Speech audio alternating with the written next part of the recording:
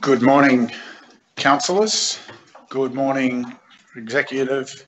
Good morning to other officers present today and good morning to members of the community joining us through the um, benefit of the digital gallery under the continuing change circumstances.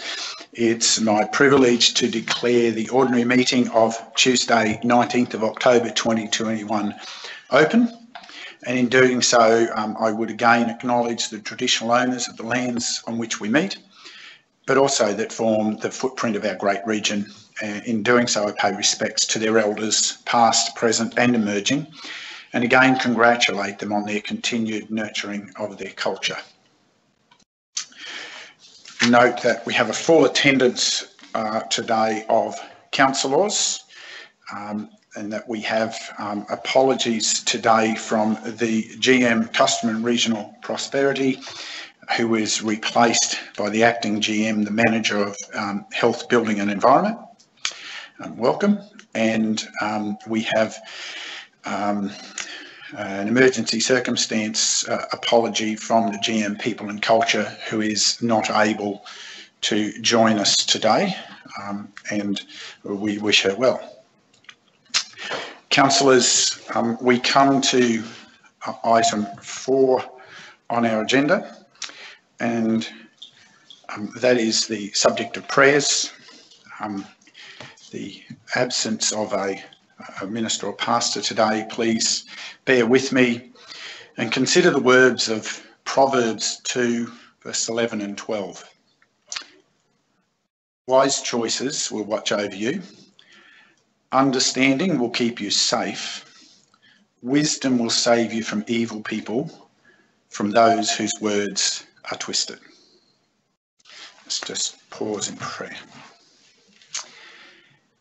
Father, we thank you for your blessings to our region that come in so many ways. The, the blessings of rain in season, the blessings of harvest, the blessings of um, safekeeping so often.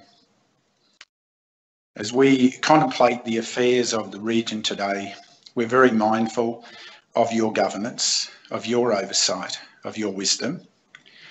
We're mindful too that we have accepted an accountability to uphold, to uplift, and support um, wise decision making for the good of this whole region, to put aside our personal likes and dislikes, our personal desires and agendas, and to focus on that which is uplifting for the greater good, for the common good of our widespread and diverse region. We thank you that you grant us the freedom to meet. We ask that you grant us the courage for um, clear thinking and wise decision making. And above all, that we will give you the continuing glory for this magnificent place. We pray in Jesus' name. Amen. Um, turn to item five, declarations of either prescribed or declarable conflicts of interest with matters before the meeting today. Are there any such declarations to advise councillors? I'll take silence as there being none. I then move um, through to, there are no announcements or mayoral minutes today. There are no deputations or petitions that I've been advised of. Come to item eight, confirmation of the minutes previous meeting. There is a recommendation before us, councillors, that the minutes of the ordinary meeting held on the 5th of October 2021 be adopted. You've all had access to those. Um, I seek a mover. Councillor West, thank you. Are there any questions, any additional observations or comments to those minutes? Not seek a seconder. Councillor Enright, wish to speak, Councillor? No, thank you, Mayor. Anyone uh, wishing to seek leave to speak? Not. We put the motion. Those in favour? That is carried unanimously. Thank you, councillors. Um, there's no business before the meeting today arising from that. So we come to uh, part 10 of the agenda and we turn to item 10.1. And um, CEO, I'll ask you to introduce this item. Uh, thank you, Mayor. Good morning, Mayor, councillors, executive, employees and members of the public listening at home. The first item, 10.1, it relates to the proposed 2022 dates for council's ordinary meetings. Uh, the report has uh, proposed a number of dates uh, for the meetings to be held in 2022. Um, probably just as by way of background, following a previous review of Council's uh, framework undertaken in early 2019, it was determined that two ordinary meetings rather than one ordinary meeting and three committee meetings rather than one ordinary meeting and three committee meetings, sorry, um, would be held uh, per month effective from 1st of July 2019. So we, so what I'm trying to say, sorry, Mr Mayor, is that we'd move from one ordinary meeting three committees to two ordinary meetings from 1st of July 2019. The dates proposed in this report follow that schedule. We have taken into account um, varying the two meetings per month for January and December, obviously for Christmas and New Year periods, uh, and some other variations throughout the year to avoid conflict with public holidays and other known events. And just to note that uh, once council does adopt the dates, they will be advertised in accordance with the legislation in uh, newspapers uh, to ensure that the public uh, understand the dates of council's meetings quite clearly. Happy to take any questions, um, but the recommendation there has all the dates uh, listed. Thank you, CEO. Are there um, questions or clarification to this report? councillors? Councillor Enright. Uh, thank you, Mayor. Uh, question to the CEO. CEO, do we have any data that may indicate any efficiencies or otherwise gained uh, with the fortnightly meeting format compared to the previous one ordinary and three committee meetings per month? I think part of the change there, Councillor Enright, thank you for the question, was just um, to try and make uh, the system a little clearer for uh, members of the public and also council officers um, in terms of having committee reports which then were endorsed uh, at a council meeting seven days later and there was uh, always some confusion around that. It made it difficult for people to uh, follow the meeting cycle as perhaps as clearly as now. Um, I think the other uh, change is that business is dealt with more quickly. So two ordinary meetings per month um, enables us to, from an officer's perspective anyway, to have the business, the decisions of council arriving at the uh, council's table um, uh, within the timelines that are often set by other uh, parties. Um, so we have more ability to meet external timelines. So I think there's certainly some efficiencies there. In terms of numbers of reports, um, and previously in a committee system there were three committee meeting agendas, three committee meeting reports, and then there was one council meeting agenda which also had other items included and one council uh, meeting minutes in a monthly cycle. So there was eight sets of documents there which needed to be created um, under the system we have now uh, without the committees there's two ordinary meeting agendas and two ordinary meeting minutes so you know whilst there's a lot of information contained in in those documents um, there's only four documents that we have to prepare which is a challenge in its own right but um, that's a reduction of 50% on the um, structure with the previous committee system. So I think if you're asking about um, uh, is it more efficient now, I, I would think from um, the perspective of officers trying to generate reports that um, meet a, a, a, set timeline, it's it's better. Um, and in terms of production of documents, there's a less number. So yes, I think that that probably answers your query there. Thank you. Um, further questions for this report? Councillor Swanborough. Uh, thanks, Mr Mayor. Following on from Councillor Enright, I'd like to ask the CEO if he thinks there are any disadvantages uh, in the current system as opposed to the committee system that we had previously. Um, thank you, Councillor Swanborough. I, can't see any disadvantages. Um, um, and, and perhaps um, I, I, have in recent weeks just been looking at, um, you know, some specifics around meetings, um, committees and workshops um, on uh, publicly available agendas and um, minutes.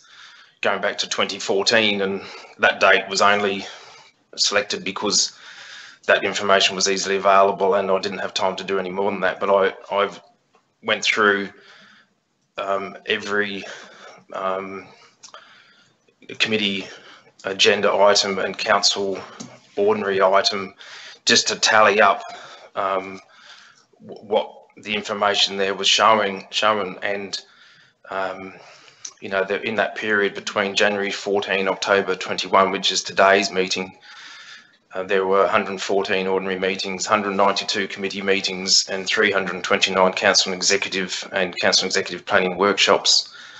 Um, and I, I, think the thing which jumped out to me was that um, between January 2014 and June 2019, um, the on average 32 point, or 32% of the um, committee meeting reports and the ordinary meeting reports were discussed in closed session, whereas in the last 12 months, 15% of the ordinary meeting reports um, have been discussed in closed. So whilst there's been a very similar number of reports presented, whether it was in um, a ordinary meeting with a committee structure or whether it was just a, as an ordinary meeting, the amount which is um, provided um, in an open format has reduced by 50%. So I, I think that the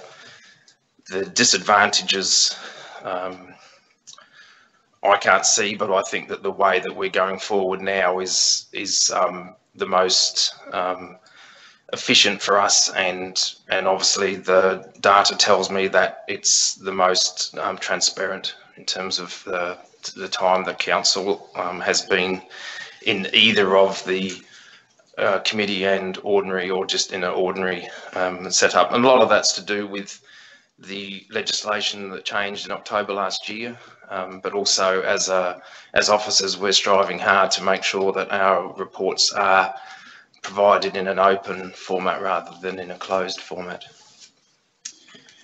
Thank you, um, CEO. Uh, further clarifications, councillors? If not, CEO, I'll ask you to introduce the recommendation. Thank you, Mayor. The recommendation is that Council adopt the following ordinary meeting dates for January to December 2022 with meetings commencing at 9.15am. And the dates are 18th of January 2022, 8th and 22nd of February 2022, 8th and 22nd of March 2022, 12th and 26th of April 2022, 10th and 24th of May 2022, 7th and 21st of June 2022, 15th, oh, sorry, 5th and 19th of July 2022, 2nd and 16th of August 2022, 6th and 20th of September 2022, 11th and 25th of October 2022, 8th and 22nd of November 2022, and 6th of December 2022. And I hope I don't need to repeat those. Thank you. Um, CEO, I seek a mover. Councillor McInnes. Um, any further questions to this item, councillors? Any discussion? If not, seek a seconder. Councillor Enright, you wish to speak? Councillor McInnes? Anyone seeking leave to speak additionally? Um, Councillor Enright? Mayor, I will speak, thank you. Um, I take the comments of the CEO about the improvements of efficiency of the organisation since moving to the two fortnightly ordinary meetings per month. Uh, I note these uh, dates that have been coordinated around other known events so that we do have um, a, a, good spread of opportunities for these meeting dates, um, but also to fit in with the uh, known other activities. And I think it's proven that the Tuesday has worked very well for uh, our ordinary meeting, uh, as predominantly Monday is the, when a lot of the public holidays are. So um, uh, very happy that uh, these dates be proposed for the ensuing year. Thank you. Uh, anyone else wishing to seek to speak? Councillor Swanborough. Uh, thank you, Mr Mayor. Look, I, I don't think this is uh, a, uh, an agenda item inviting a discussion on the efficiency or inefficiency of the meeting system. Um, I don't propose to go there today, but uh, I note the comments and I note the lead-in that that um, uh, Councillor Enright gave the CEO to open that discussion.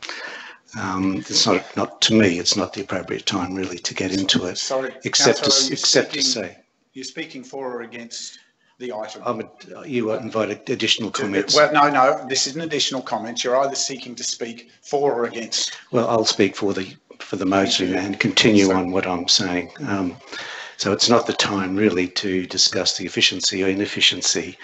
Um, I understand it would be more efficient for the organisation, but to me that's not the point.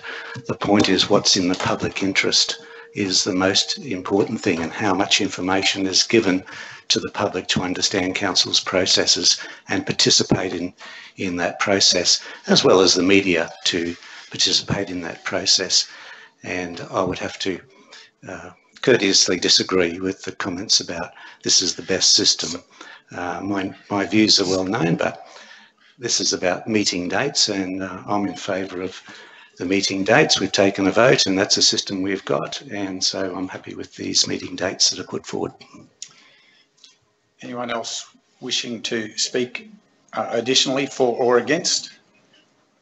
Not, I will speak for the motion um, in light of those last comments and certainly the earlier comments. It is important to consider the performance of our meeting schedule when we're setting the dates. And so it was appropriate to consider the reality that what has happened when you've heard from CEO's observation, the reality is there is greater transparency, there is greater clarity. That feedback has come from our own observations as well as from members of the public, that they understand that all decision making of the council is done through ordinary meetings and not the confusion of what a committee can and can't do and reports that used to come from committees that camouflaged, quite frankly, a lot of what had been considered and was dealt with as a single consolidated resolution um, at what were very brief ordinaries um, didn't necessarily allow the proper and complete participation. So it is good to have these dates set early so that those who wish to engage directly have that opportunity. It's also great that people have the clarity that there is a, there are two agendas a month that are consolidated agendas that address all of the decision um, matters of council so they know there's a very clear format. They're not looking for multiple um, agendas. So this uh, uh, commend these dates as a platform for us to get on with um, accelerating the business of council for the good of our wider community. Councillor McInnes, you wish to close? Oh, thank you. Put the motion, those in favour? That's carried unanimously. Thank you, councillors. We move to item 10.2, um, CEO. Uh, thank you, Mr Mayor. Just noting that um, audit and risk matters previously have uh, sat um, with council sustainability in terms of reporting to council and the community and because there is a, a, line of sight between audit and risk and the office of the CEO, um, from now on these items will be provided under the CEO's uh, banner. Uh, this uh, first item 10.2 relates to the Audit and Risk Committee's annual report. This is the first of this that um, the um, Audit and Risk Committee have prepared uh, for Council. Um, has approved, been approved by the ARC chair and is now presented to council. Uh, the purpose of the report is to really to reaffirm to council the purpose, role and objectives of the Audit and Risk Committee, outline the outcomes achieved and provide council with information on future activities of the Audit and Risk Committee. Um, the Audit and Risk Committee obviously has covered a very wide range of topics throughout the year. Um, and ensured that um, the committee itself has met the objectives within its terms of reference, um, also its legislative requirements, and, and that it provides value to the organisation. Um, it's intended from now on that there will be a report provided each year. Um, I do have uh, with me the General Manager, Council Sustainability, and also the author of this report, Council's Principal Specialist Internal Audit and Improvement, Scott Williams, if there's any specific questions of Council in terms of the report that's been provided. Thank you, CEO. Um, councillors, do we have any questions for clarification to the Audit and Risk Committee annual report?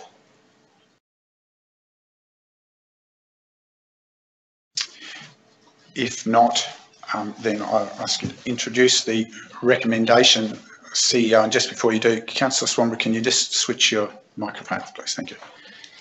Uh, thank you, Mayor and Councillors. The recommendation is that Council note the Audit and Risk Committee Annual Report 2020 to 2021. Seeker mover, Councillor Enright.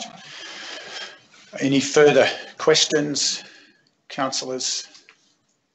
Any uh, discussion pertaining to this item? If not, seek a seconder. Councillor McConnell. Um, you wish to speak, Councillor Enright? Uh, thank you, Mayor. I have um, found the process of the Audit and Risk Committee uh, in my recent uh, appointment to that role uh, very uh, thorough, well structured, uh, open and well chaired by Chairman Stephen Coates, who has allowed the discussion and time to evaluate responses. I found it very beneficial. Uh, I will note that the uh, annual meeting planner uh, is a very purposeful document. it gives an indication of the timing of the items that are to be discussed in the ensuing 12 months.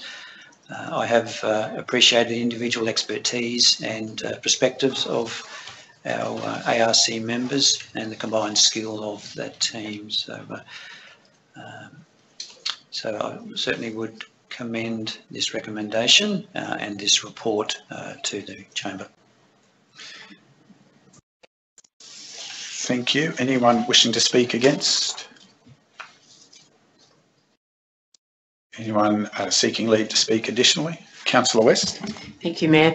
Look, I just want to mention that um, with the inception of Scenic Rim Regional Council, there in fact was an audit and risk committee put in place then, which was before the legislative requirements um, advised to do so. So I think this is this is certainly very great. It was very good now to have an annual report. It's another aspect of council's transparency to the community, um, and certainly open for the community to see, which is very positive. Thank you. Anyone else seeking leave to speak? If not, Councillor, you wish to close? Uh, just one closing comment, Mayor, is that um, I believe that the Audit and Risk Committee is only as good as the people around the table and the resources that are provided to enable an effective assessment to be carried out. Um, and I believe we are in a, in a good place. Thank you. Um, councillors, we have a recommendation or a motion before us now. Um, those in favour? Those against? Um, sorry, councillor, was that for or against? Thank you. Um, that's unanimous. Thank you, councillors. Um, that's carried. We move to item 10.3 on uh, page 18 of our agendas for those following along. Um, CEO, uh, thank you, Mayor and Councillors. Uh, 10.3 is in relation to the Audit and Risk Committee meetings. The Audit and Risk Committee meets regularly throughout the year uh, and has established uh, annual meeting planner. Um, under clause uh, 221 of the local government regulations, there's a requirement to provide a report to council following each meeting. Uh, this report provides a synopsis of the activities of the Audit and Risk Committee um, on its recent regular meeting and also a uh, special meeting. Um, and the information is provided. Again, um, uh, Scott Williams and the General Manager are here if there's any specific questions from Council. Otherwise, I believe that the recommendation there is straightforward, Mr Mayor. Thank you. Points of clarification, councillors, questions to the CEO or specialist officers on this item? If not, um, thank you. CEO, would you please introduce the recommendation? The recommendation is that council receive the report provided on the Audit and Risk Committee meetings held on 25th of August 2021 and 23rd of September 2021. Thank you. I seek a mover. Councillor Enright. Again, um, any additional points of clarification? Any discussion to the item? Seek a seconder. Councillor McConnell. Um, you wish to speak, Councillor Enright? Oh, Mayor, just happy to uh, verify the contents of the report as outlined. Thank you, um, Councillor Enright. Anyone wishing to speak against the motion? Anyone um, seeking leave to speak additionally to the motion? I would just take the opportunity as also participating there and I note that uh, Councillor McConnell as proxy has been joining us to, as an observer as well. Um, the there's been a, a, continuing improvement in the focus and operation of the Audit and Risk Committee. Um, it's certainly good to have um, clarity and confidence and stability around the internal resources supporting this. It's a very big program of work throughout the year. Um, and having these reports come forward in a, a in a, a, really good summary way that clarifies the focus of the meetings is, is a further step of transparency and feedback for councillors to be aware of um, that independent oversight of, um, of a wide range of issues on, on behalf of the community. We thank the Audit and Risk Committee, including the independent members particularly for that effort. Anyone else seeking leave? speak? If not, councillor, you wish to close? No, thanks, Mayor. I put the motion. Those in favour? Um, that's carried unanimously. Thank you, councillors. We move to item 10.4. Um, CEO, uh, this is on page 24, councillors. I believe the CEO will introduce this. this. Thank you for your support. Um, CEO, you'll be introducing Yes, thank you. Uh, thank you, Mayor and Councillors. In the absence of the General Manager, of People and Strategy, I'll present this paper.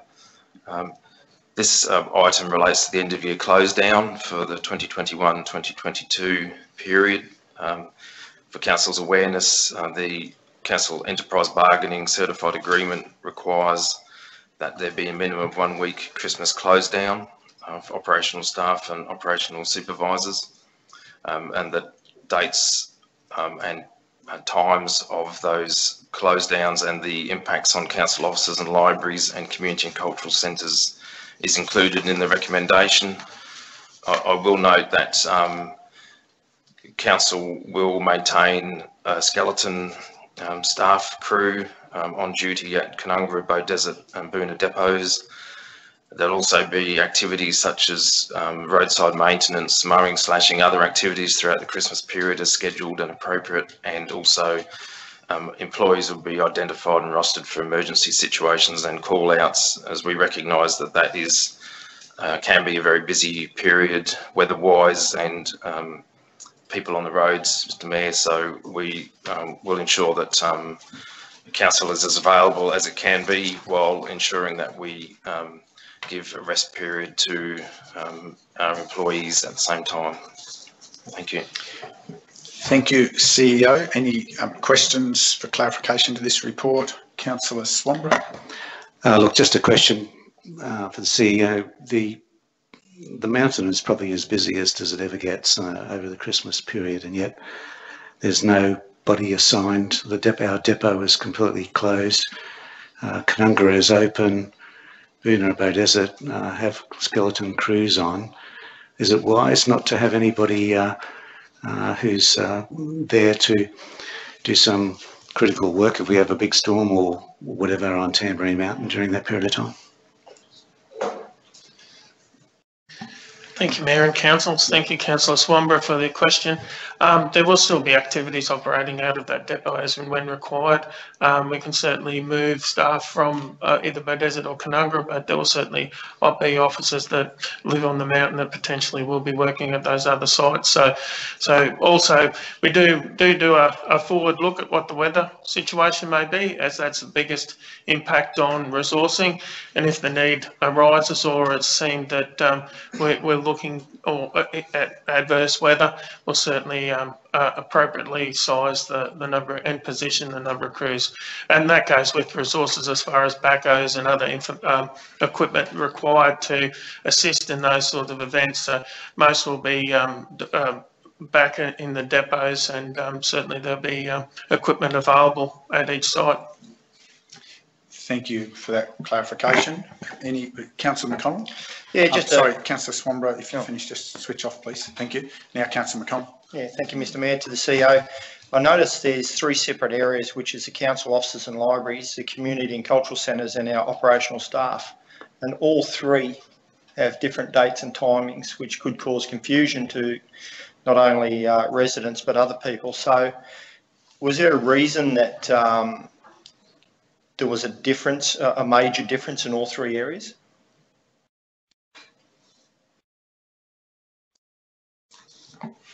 I'll I'll perhaps uh, refer that to um, another general manager, councillor. Uh, Thanks, councillor um, McConnell, for the question. I I guess in, um, in, in summary and, and following consultation with the, the rel- relevant work areas, uh, the, the, the fact that the um, outdoor work staff have a, longer period is, is to recognise uh, the, the, the length of the construction period and to give them that, that well-earned break over the, um, over that break. Um, in terms of the other areas, it's, um, as councillor um, Swanborough pointed out, it's probably the busy times and, and having a less close down of council facilities and and um, and libraries and that, it, it, it's probably you know there's still a service that's required over that period, and, and as such um, corresponds to the um, the, the the varying in the in the in the break between the the staff areas. So, I hopefully that sort of answers some of the questions in some point. No, not really, because there's a difference. Um, when you look at the council offices and libraries, they close on the 23rd, on the afternoon of the 23rd, and reopen on the 4th. But the community and cultural centres close on the 23rd. They go back to work on the 4th, but don't reopen until the 10th. And looking, looking down at the field operation, you know, they, they finish on the Monday, but the Saturday, Sunday is actually a uh, Christmas and, and Boxing Day, so they actually finish on the Friday afternoon.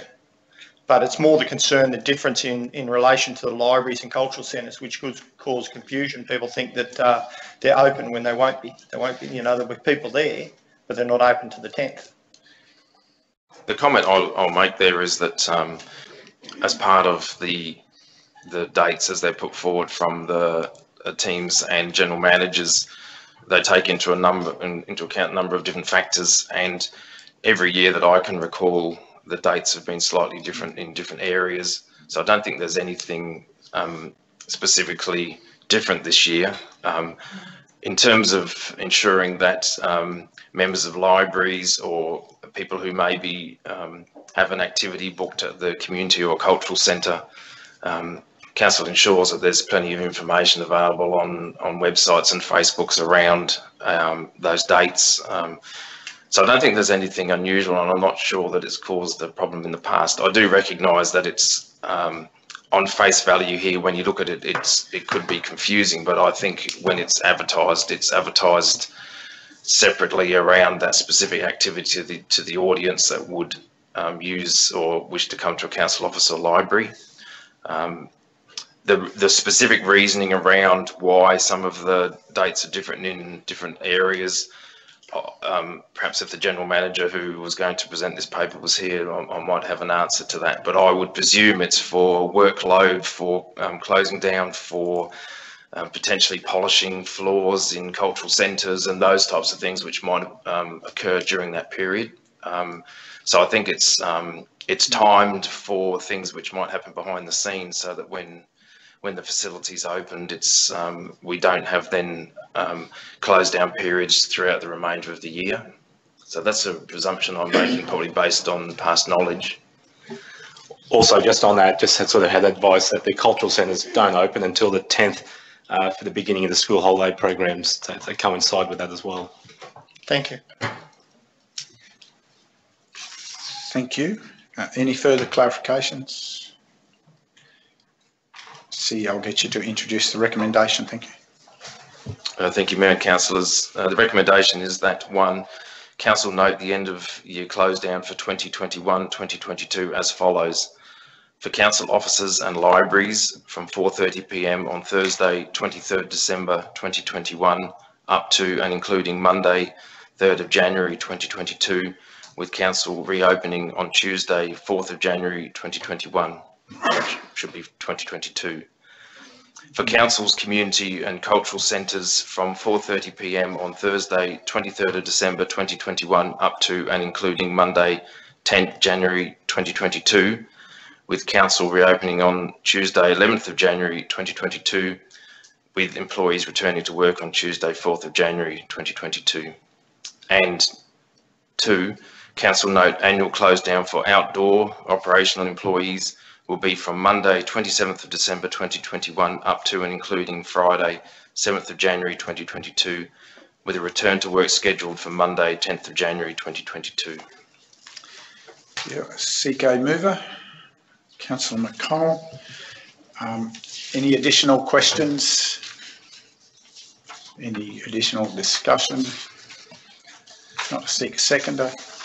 Councillor West. Um, Councillor McConnell, you wish to speak? No, thank you, Mr Mayor. Anyone um, seeking leave to speak against? Anyone seeking leave to speak additionally for? If not, we uh, um, we uh, put the motion. Those in favour? It's carried unanimously. Um, thank you, councillors. Um, and that allows the communication and planning for that to go ahead. Item 10.5, um, page 27 of the agenda. Um, CEO, um, you, the G, GM um, Council Sustainability will introduce this item, councillors. Thank you, Mr. Mayor. Yes, I'll, I'll present this on behalf of um, the General Manager of People and Strategy. I guess, um, uh, Mr. Mayor, item 10.5 today presents the uh, the, the 2021, uh, 2020-2021 annual report. Uh, this represents a culmination uh, with the finalisation of um, the, the 2020-2021 financial year. Um, before going into sort of um, the, the, body of the report, um, just highlight the, the, the, requirements uh, of why this is presented today. Um, section 182 of the local government regulation requires that um, the annual report is, is, is provided for consideration by council uh, no later than uh, 30 days upon receipt of the signed audited financial statements. Um, Council was uh, received confirmation of the uh, financial statements from the Queensland Audit Office on the 23rd of September, uh, requiring this to be provided at the um, at, at, this meeting to, to meet those necessary timeframes.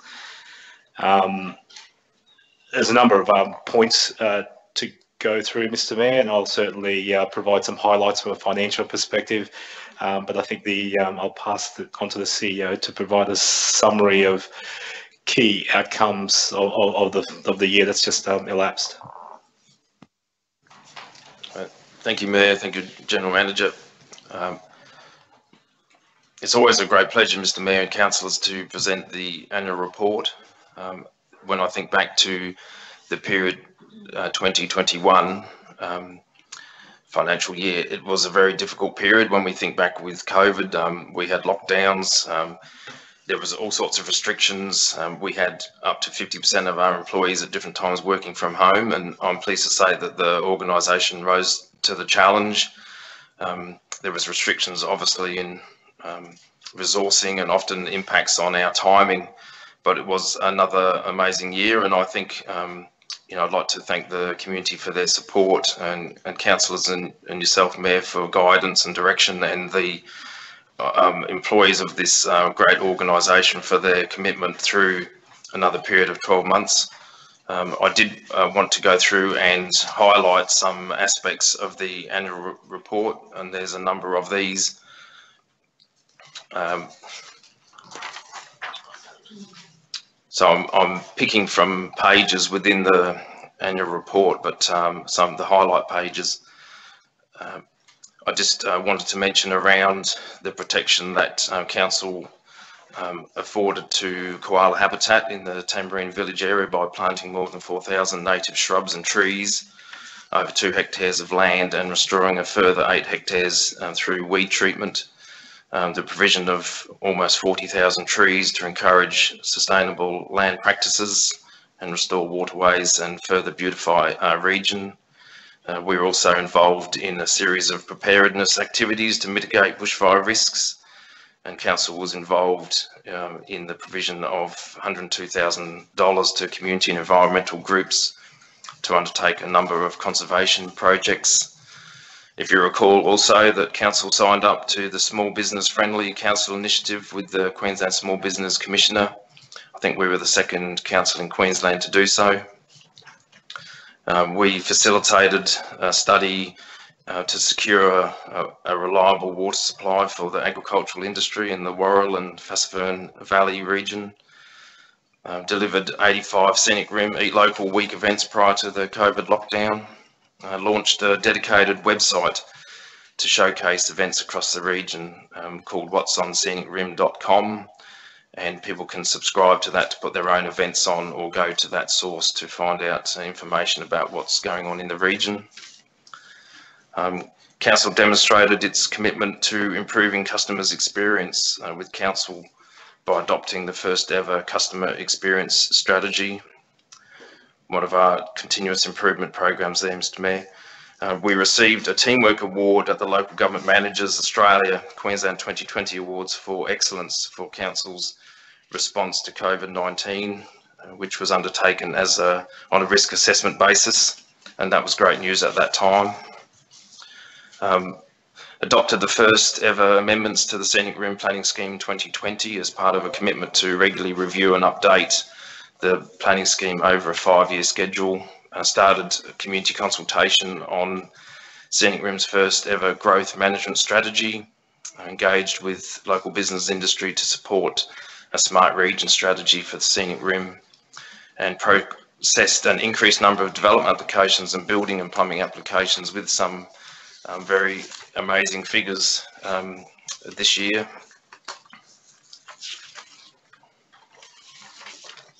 Completed the $3.2 million revitalisation of the Boonah Town Centre. Unveiled the amazing curtain backdrop um, in the cultural centre in Boonah, which preserved much of Boonah's early history, uh, and also announced the um, funding for the refurbishment of the Tamborine uh, Mountain Library. Uh, just in terms of the planning figures and building figures I referred to before, I've just found my notes there. And in 2020, 2021, Council saw 232 new lots approved, almost 100 more than the previous financial year and the largest yearly total in the past five years. Council also approved 129 material change of use applications, which have been steadily growing in the past five years and a total of 1,104 building approvals and 500 plumbing approvals were issued in that same period.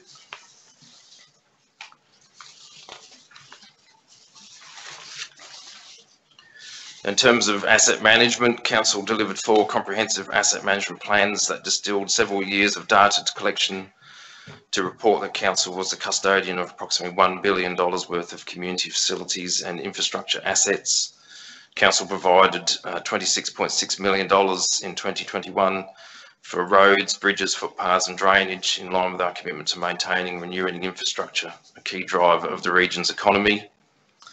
Another big achievement, Mr Mayor, was the Scenic Rim's progression towards zero avoidable waste to landfill with Council's adoption of the updated waste management and resource recovery strategy and commenced the preparation and the bulk earthworks for the 11 hectare desert Enterprise Precinct Expansion Project.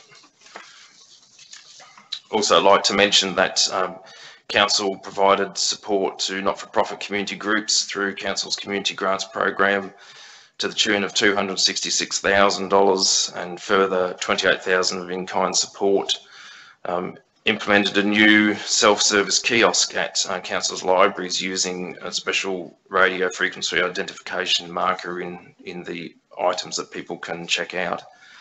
And also, despite um, everything, de delivered a comprehensive arts and cultural program, including workshops, exhibitions, online and live arts dinners, concerts, movies, uh, and supported emerging artists as much as possible. Some, some amazing um, activities that were undertaken throughout the year. That's just a snapshot of uh, what's contained within the annual report. I might um, refer now to the General Manager just to talk about the financial highlights, Mr Mayor. Thank you. Um, GM Council Sustainability, thank you.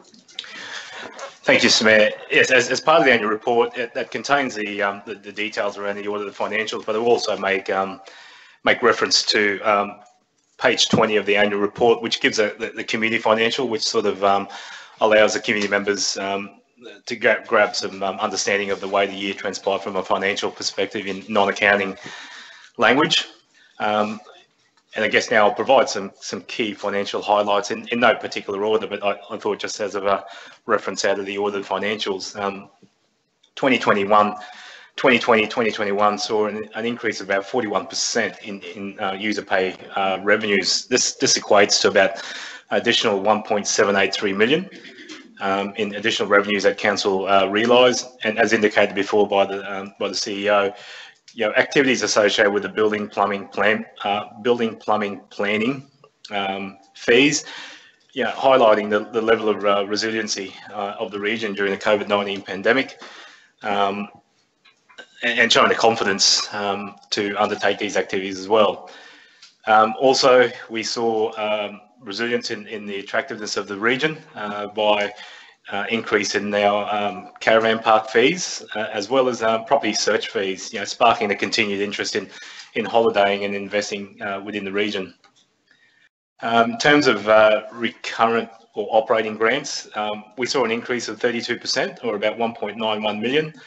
This is on the back of continued funding assistance for recovery through the COVID-19 pandemic and the summer bushfires that, that occurred a number of, a couple of years back. We've also um, you know, maintained strong levels of capital grants um, with $20.44 million in successful grants being recognised. Um, this, this has um, certainly highlighted continued focus by council teams in identifying key assets and projects for submission towards both the Queensland and Australian government funding programs. Without these capital grants, um, you know, the council would be certainly um, behind the eight ball in trying to fund all our obligations in in meeting uh, our um, uh, renewals of, of our assets.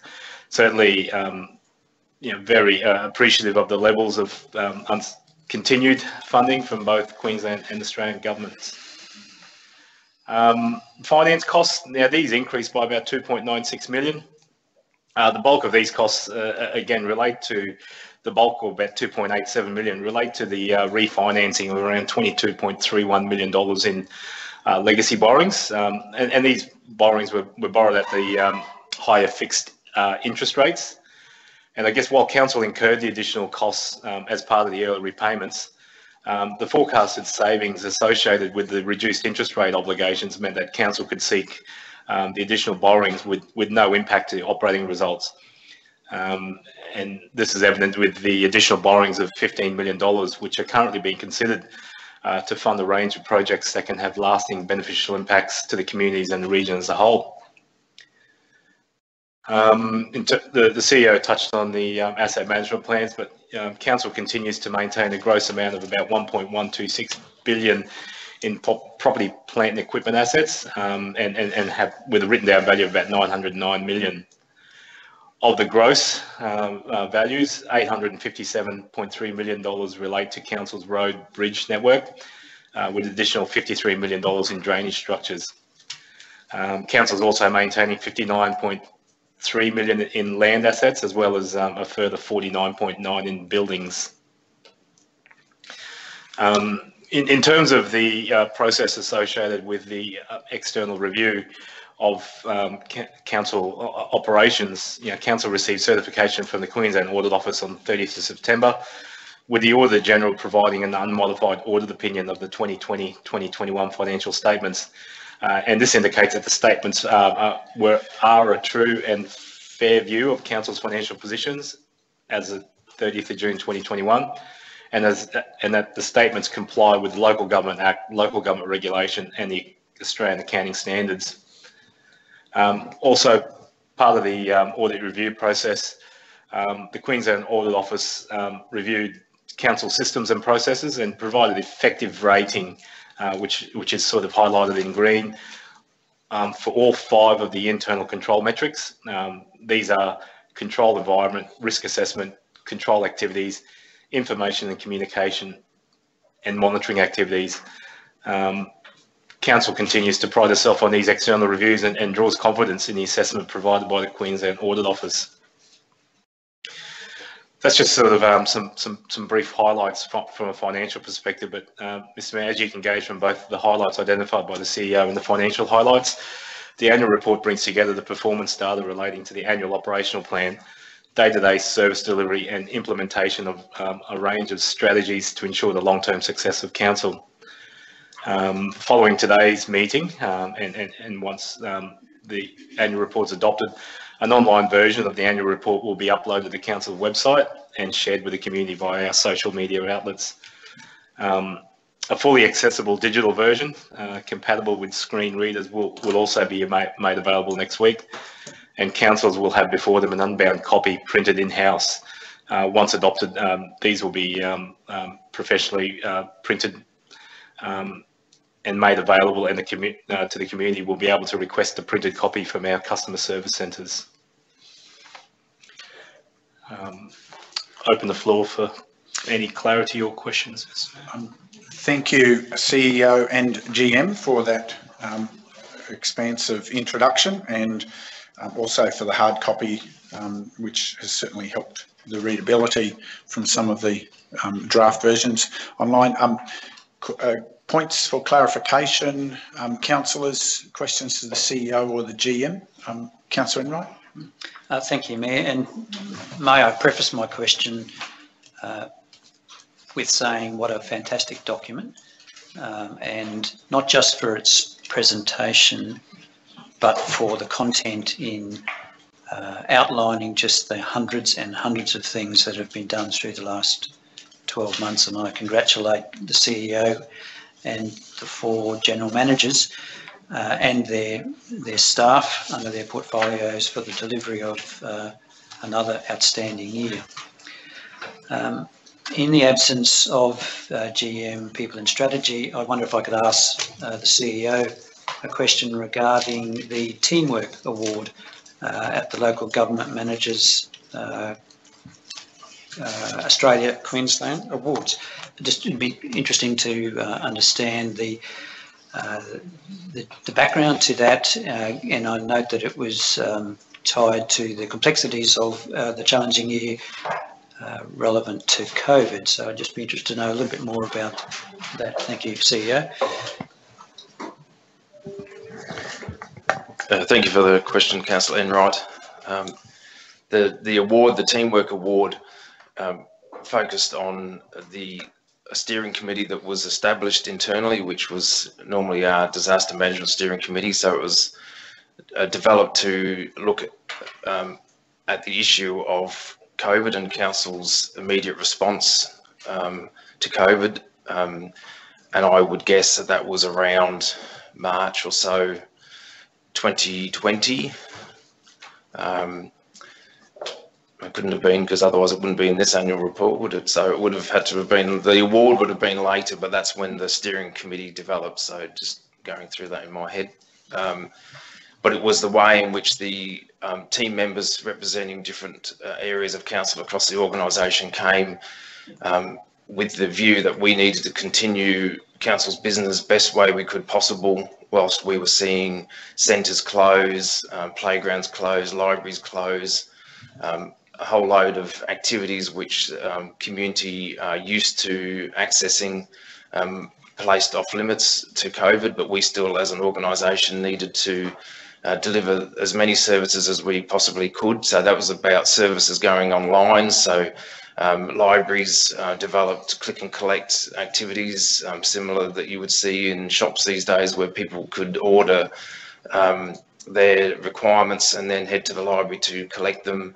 Um, arts dinners and the rest were going went online. A number of uh, community um, events were held online, um, and we were able to um, still run the organisation with um, up to 200 of our employees working at home with a device which enabled them to take calls from customers um, still process building applications, plumbing applications and the like, but doing it outside of the, um, the what we would know as our main customer service centre. Um, but it was the way that we assessed all of those on a risk assessment basis and made sure that we had mitigations in place for serious um, actions to protect um, customers and protect our employees. And some of the steps we took internally uh, to reduce um, officers um, heading between different depots or different offices, uh, keeping them in the location that they are at. Um, so a number of those steps that were taken um, with the support of employees um, and council at the time um, resulted in in that win. so we were able to deliver everything we possibly could in a completely foreign environment to how people were used to working. And we saw uh, productivity improvements as well as um, amazing technology displayed um, with um, the best of our officers being able to ensure that people could work uh, remotely and still conduct council's business. Hopefully that responds to your inquiry, Councillor. Yeah, thank you, CEO. It certainly does, and uh, um, it's amazing what can be done when there's a, a focus and, and, teamwork where everyone is uh, heading toward a, a, mutually beneficial outcome. So congratulations to all. May I ask Further question? another question? Yep.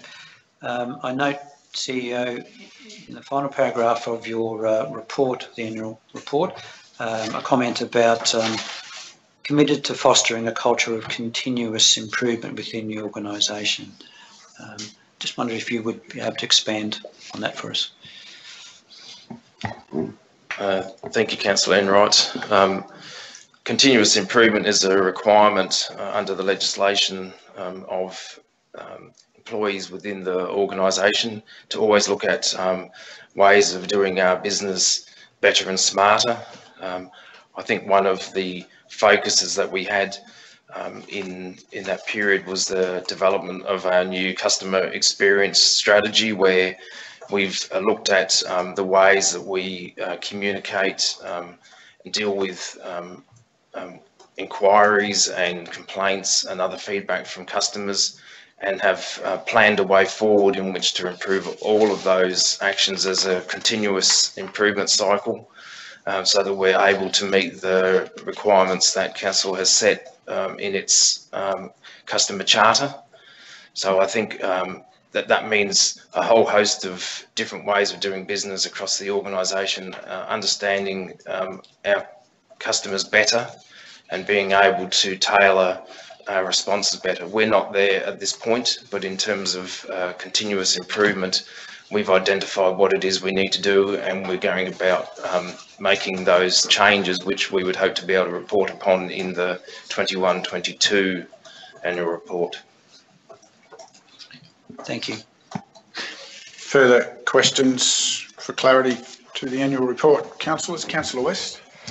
Thank you, Mayor. Look, certainly a very, very readable document. And I just wanted to ask the um, General Manager, I know you mentioned it will be on the council website and we'll have some copies at the customer contact centres, but just to ensure that we have a copy in all our libraries, because I know there's a number of people who are maybe not so internet savvy and don't have reliable internet. They like to come and read a hard copy, I found over the years. No problem. Take that on. Thank, Thank you. you. Points of clarification, councillors. Uh, Councillor Swanborough. Uh, thank you, Mr Mayor. I just um, wanted to seek clarification on page 120 of the annual report. Indicates that the full-time equivalent staff uh, during the year went from 384 persons to 413, so that's 29 additional staff uh, displayed in the annual report. it breaks it down and it says that there were 19 new staff added to administration and there was only 10 new staff dedicated to outdoor uh, workforce um, for depot and outdoor staff. Given that uh, most of the grant money that uh, we have received in that year, and I think it's looks like from the annual report, I think it was two or three million more than um, the previous year. Um, and most of that is outside work uh, that we're doing. Have we got the ratios right? Um, why would the administration be growing at nearly twice the rate of our external staff that deliver the services and, um, and the capital works for us? Thanks for your question, Councillor Swanborough. I, will preface the um, answer by saying this, this sort of metric has always been a bane of controversy. It's an accountant's view, not a, um, the, the people in strategy or the HR structure. Now, the way this metric is actually calculated is that the pay period before 30th of June, um, you, you, calculate the total number of hours that are actually worked for that period, and then you divide it based on the, the different awards of the admin and the um, um, outdoor staff. So it's not the true reflective of the actual establishment.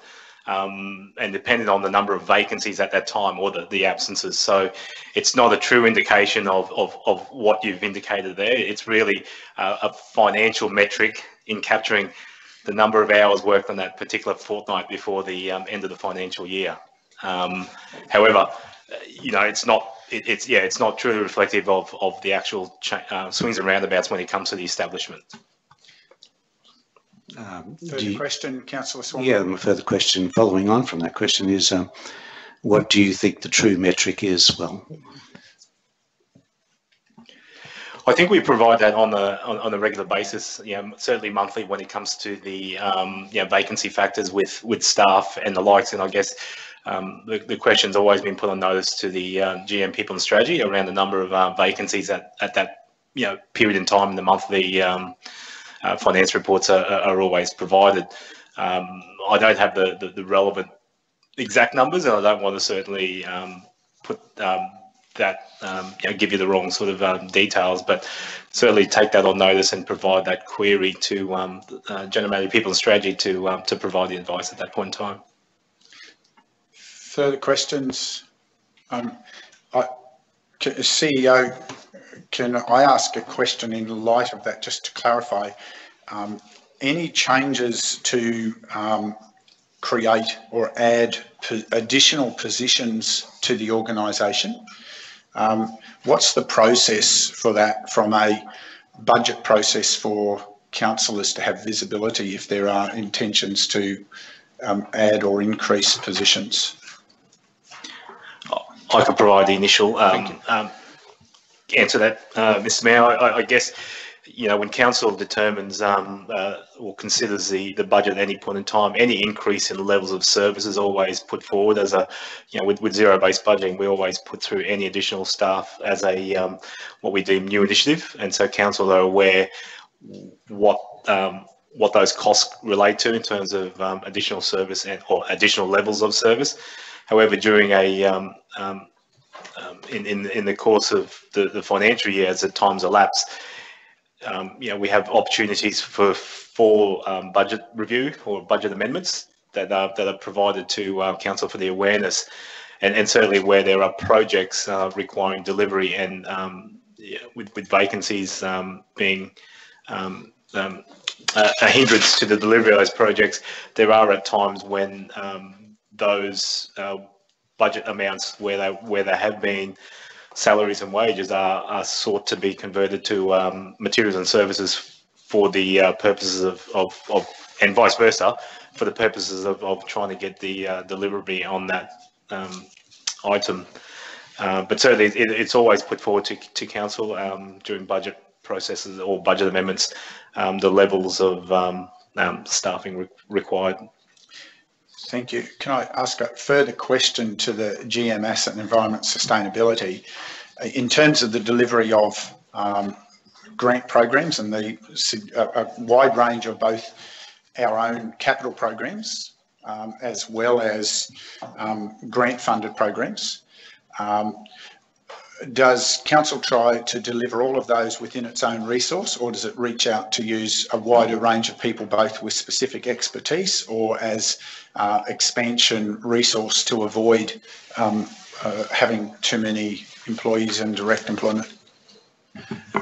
Yes, thank you, Mayor. Um, with regard to your question, um, generally speaking, we, we try and keep our workforce at a particular skill level and a certain level that is a baseline level. When we get um, additional funding through um, whether it be grants or, or, or other means, um, we certainly look at um, supplementing our workforce either through um, assistance through um, additional contractors that support those crews or we actually go out to full contract and we actually use um, suppl suppliers for specific projects.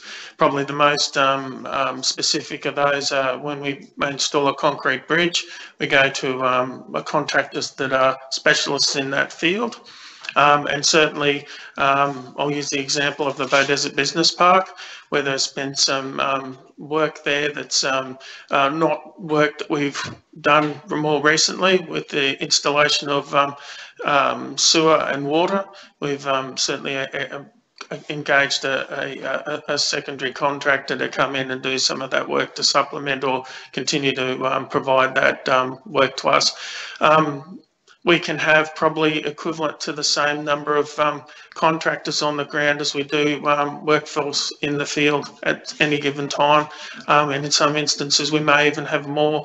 So, um, and likewise for um, building maintenance, uh, we don't have painters on staff, so we actually um, engage a painter to come in and, and paint a paint a section of, of the building or otherwise. So um, realistically, we can't be or can't support all the different skills that are required to maintain the assets that we have. So we certainly um, um, um enjoy utilising others to provide those services. Thank you. Um, further clarifications, Councillor Chalk. Yeah, thank you, Mr. Mayor. Um, it's just that in our total expenses that 37% makes up um, by employee benefits. Um, is that considered um, on par with other similar size LGAs in Queensland? With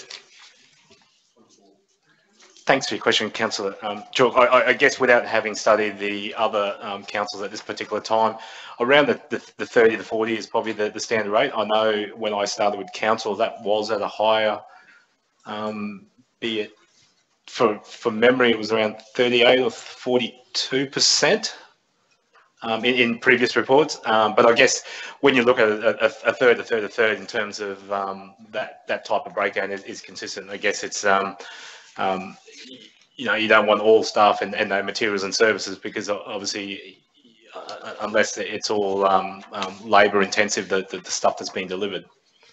Um, but certainly, it's not um, it's not a, a, worrying trend. But I can certainly, um, you know, part of the process provide some um, comparatives. Uh, so part of the upcoming budget process certainly provide comparatives from other councils of of what those breakdowns are. But it's certainly not a, an area of concern and and you can look at the um, um, um, yeah, some of the pages within the um, audit of financial statements, um, the metrics that the Queensland Audit Office compare previous year expenditures.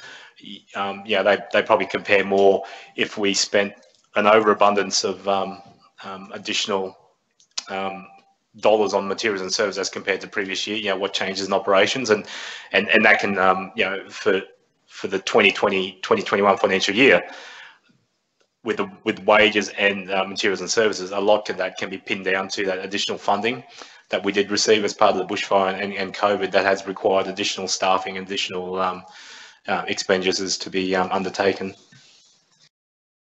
Thank you, GM. Uh, yeah, Councillor McInnes. Uh, yes, Mayor. Along the same lines, if I could ask the uh, not only for that what Councillor Chalk has raised, but also could we look at comparing to our workplace health and safety compared to other councils. Uh, we, it's important that we do take safety seriously, but uh, we seem to go overboard in some areas, and uh, and I think it would be good to see where we stand in, in our, in our spend of uh, workplace health and safety uh, compared to other councillors our size. Thanks, Councillor Williams. We'll certainly um, include that in the, as a, as a point. Any other points of clarification, councillor Enright? Uh, Thank you, Mayor. Um, A question to GM Council Sustainability. Um, Oliver, in the summary, we note that 32% of our contestable materials and services were sourced locally, uh, almost um, $18 million in this financial year was spent on businesses within the scenic rim. Um, I'm just wondering if you could outline just some of the avenues that we use to encourage businesses and some perhaps if there's any success stories that come to mind. I, I think this is on the back of um, obviously commitment by council in in in recognising um, the the local suppliers and, and certainly providing avenues for them to compete on local businesses uh, for council works and and, and activities. Um, you know, there's a there's a number of wide-ranging stories. There's a number of um, certainly some um, um, success stories where um, yeah, businesses have consulted or have worked with council in identifying um, the council needs and where there is a, um, a, a, lack of um, availability within the region and they've become suppliers or stockists of those particular items. And we'll certainly work with um, um, regional prosperity teams to further develop um, the relationship between council and the the various businesses throughout the region to to see what else can be increased or, or or come out as a result of avenues. Um, I, I, I, guess furthermore, there's um, there's there's there's there's a lot more there's a lot more opportunities. Um, you know, we're currently in the midst of a, um, a, a procurement review to certainly embed or, or capture or formalise the intent of council around local preferencing. at, at at this point in time, outside of um, um, provisions contained in the COVID-19 um, stimulus initiatives, you know, there's nothing formally in our procurement um, policy that um, provides great significance around um, trying to drive uh, local spend more.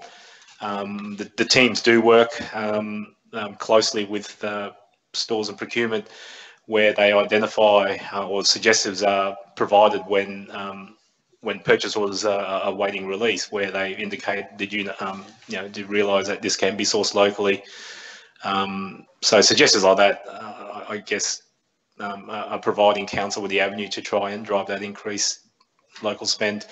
Um, it is a metric that's provided for uh, monthly, and I certainly um, highlight on a monthly basis.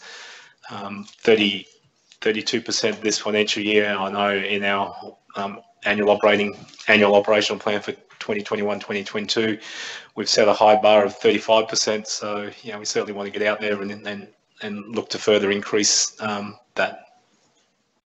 Thank you. Um, further clarification councillor mcconnell?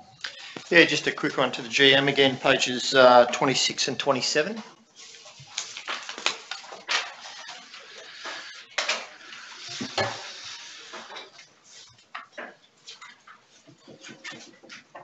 Uh, just deals with um, the first one I'll do is a, year cash and balance. There was a massive increase, and um, obviously that was the money that we borrowed uh, to assist with some legacy issues, I suppose, um, in our refinancing. Can you just uh, go through why we refinanced again and, and the benefits uh, that will bring in the long term? Thanks, Mr. Uh, Councillor McConnell. Yes, I, that, that's correct. I guess the um, yeah the opportunity to, to refinance as, as provided before certainly provides a, uh, a, a welcome opportunity for council to consider um, that initiative provided by the um, uh, Queensland government. Um, some of those loans, uh, historic loans, were at a higher um, interest rate. Um, the opportunity to certainly borrow at the revised rates at fixed terms, you know, provides certainty in our long-term financial forecasting of what our obligations are in, in servicing those loans. Um, and what's that, what that has equated to is, is by refinancing, um, yeah, the $22.3 million in, in legacy loans has freed up um, um, um operating um, savings to enable the servicing of that additional $15 million in borrowings, which, which you know, it's in the midst of council consideration at the moment to look at some projects that will benefit the community and the region as a whole going forward. Um, it, it, should be noted that, that, that um, know, it, it, made common sense to otherwise, um, yeah, council didn't have to refinance, but that money um, that those additional dollars would have gone towards servicing those loans at that high rate. So I guess from a, a prudent financial um, management perspective, um, bringing that matter to council for consideration, um, yeah, made practical sense. So can you just um, inform the listeners the length of the loan and the um, interest rate? It's I, I probably can't disclose the interest rate Okay, um, okay. Um, it, but it is significantly lower than what the commercial rates are in, in single figures, and um, and the, the, term of the loan is for, for 20 years. Um, but yeah, very very um, and and council only um, is only able to borrow through Queensland Treasury Corporation, and Queensland Treasury Corporation obviously doesn't operate like a normal commercial bank. It, it's able to source dollars at very competitive rates similar to the, what it provides to the Queensland government. So we're talking um, you know, between 1 to 3%. Uh, okay, on page, uh, the back end of 26 and 27 deals with the financial uh, sustainability. Um, a couple of the graphs there show us underneath the minimum target uh, and below the lower target in regards to asset sustainability ratio, the financial liabilities ratio, and the operating surplus ratio. Would you be able to go through those and, and uh, just enlighten us how we're going to uh, get back up above those minimum targets? Mm -hmm.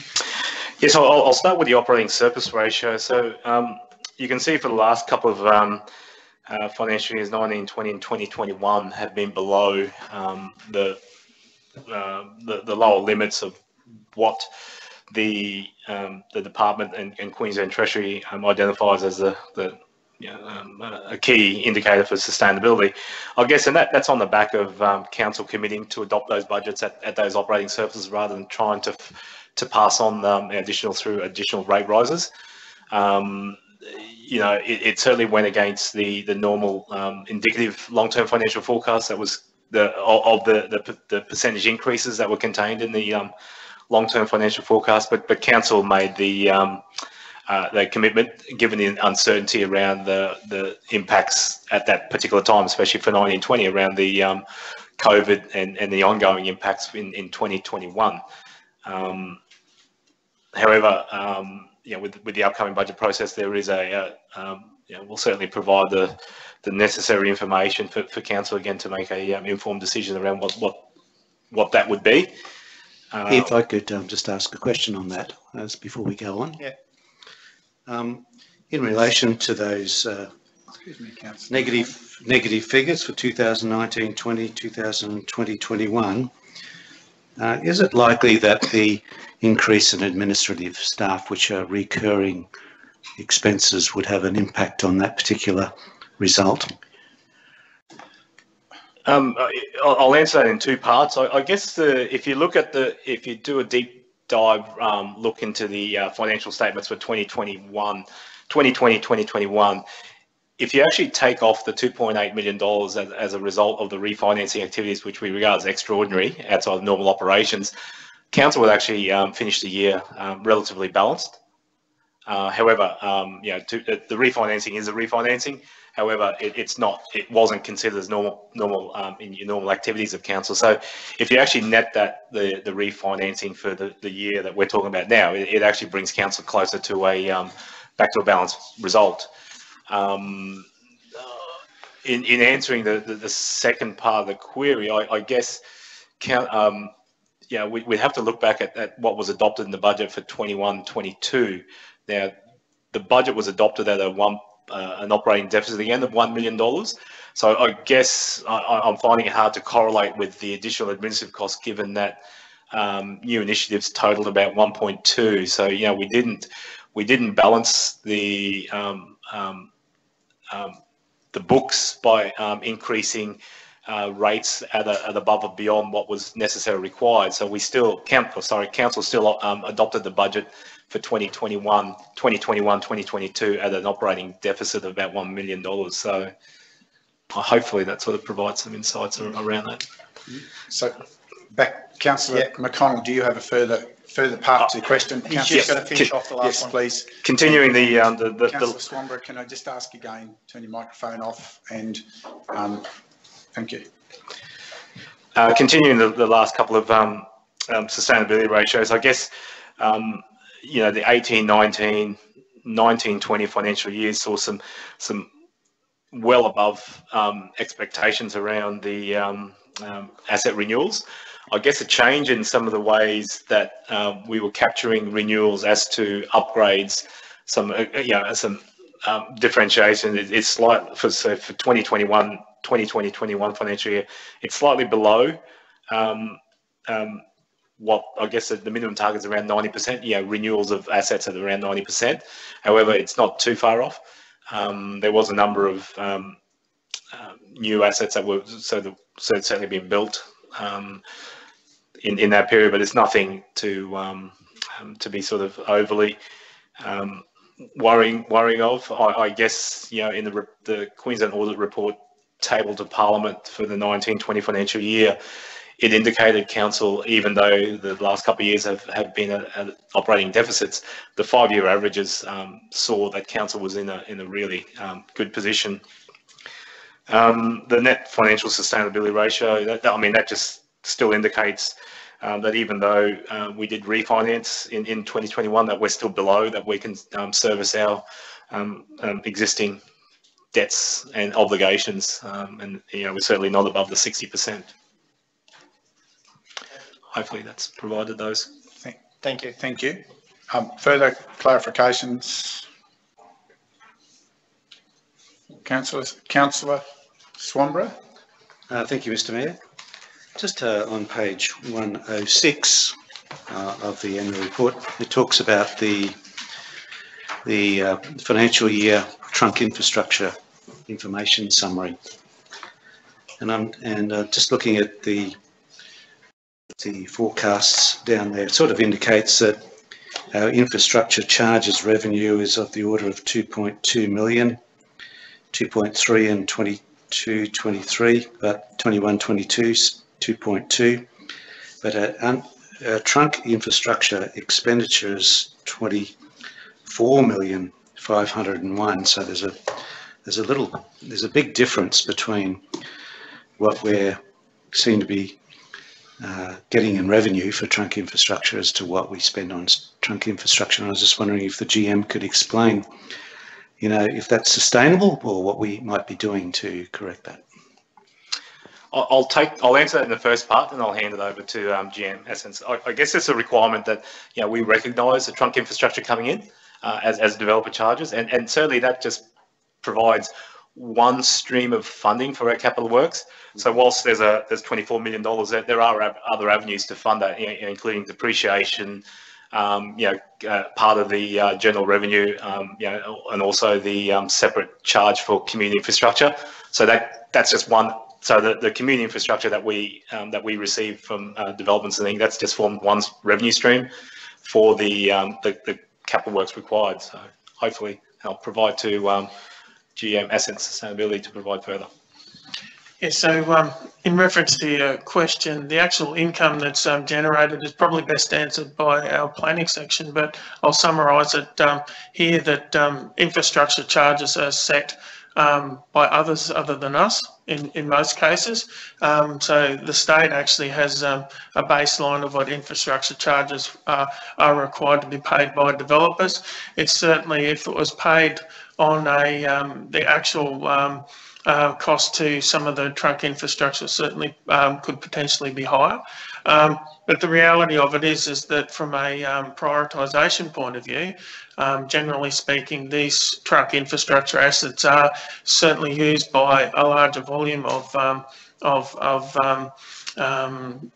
users of that, that sort of service. And um, the, the reality of it is, is that that's where the level of investment is at this point in time. So um, I guess that um, the figures here show the income from um, the, the developer side of things, but as Oliver mentioned, there's still a need for council to um, to invest in those um, pieces of infrastructure also.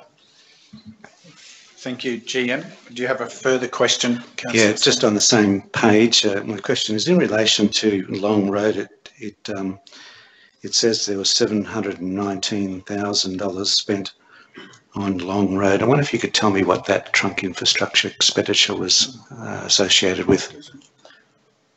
So Long Road, there was footpath works undertaken on Long Road. Um, it was a continuation of a stage two of um, the project that connected um, the Tamborine Mountain Primary School through to the um, uh, Tamborine Mountain Sports Complex. So there was a um, so uh, with that particular project, there were some complexities around the northern end, um, getting the levels right and actually um, providing a safe crossing point for, for those using that um, particular walking area. So it didn't have anything to do with the Curtis Road uh, work that was done on that corner of Long Road as well? Yes, I think some of that would have been with regard to the footpath, or the majority of that was footpath works.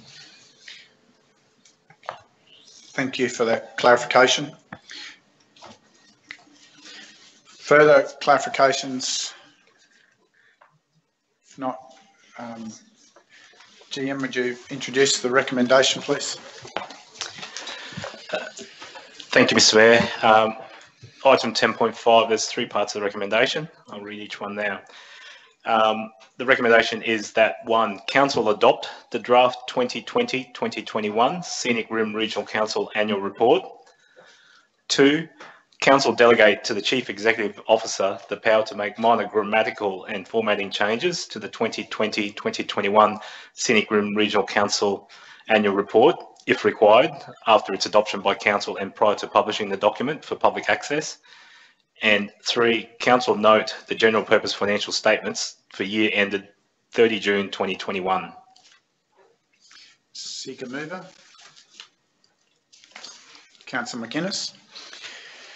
Um, any further questions, councillors? Any further discussion? Seek a seconder. Councillor West.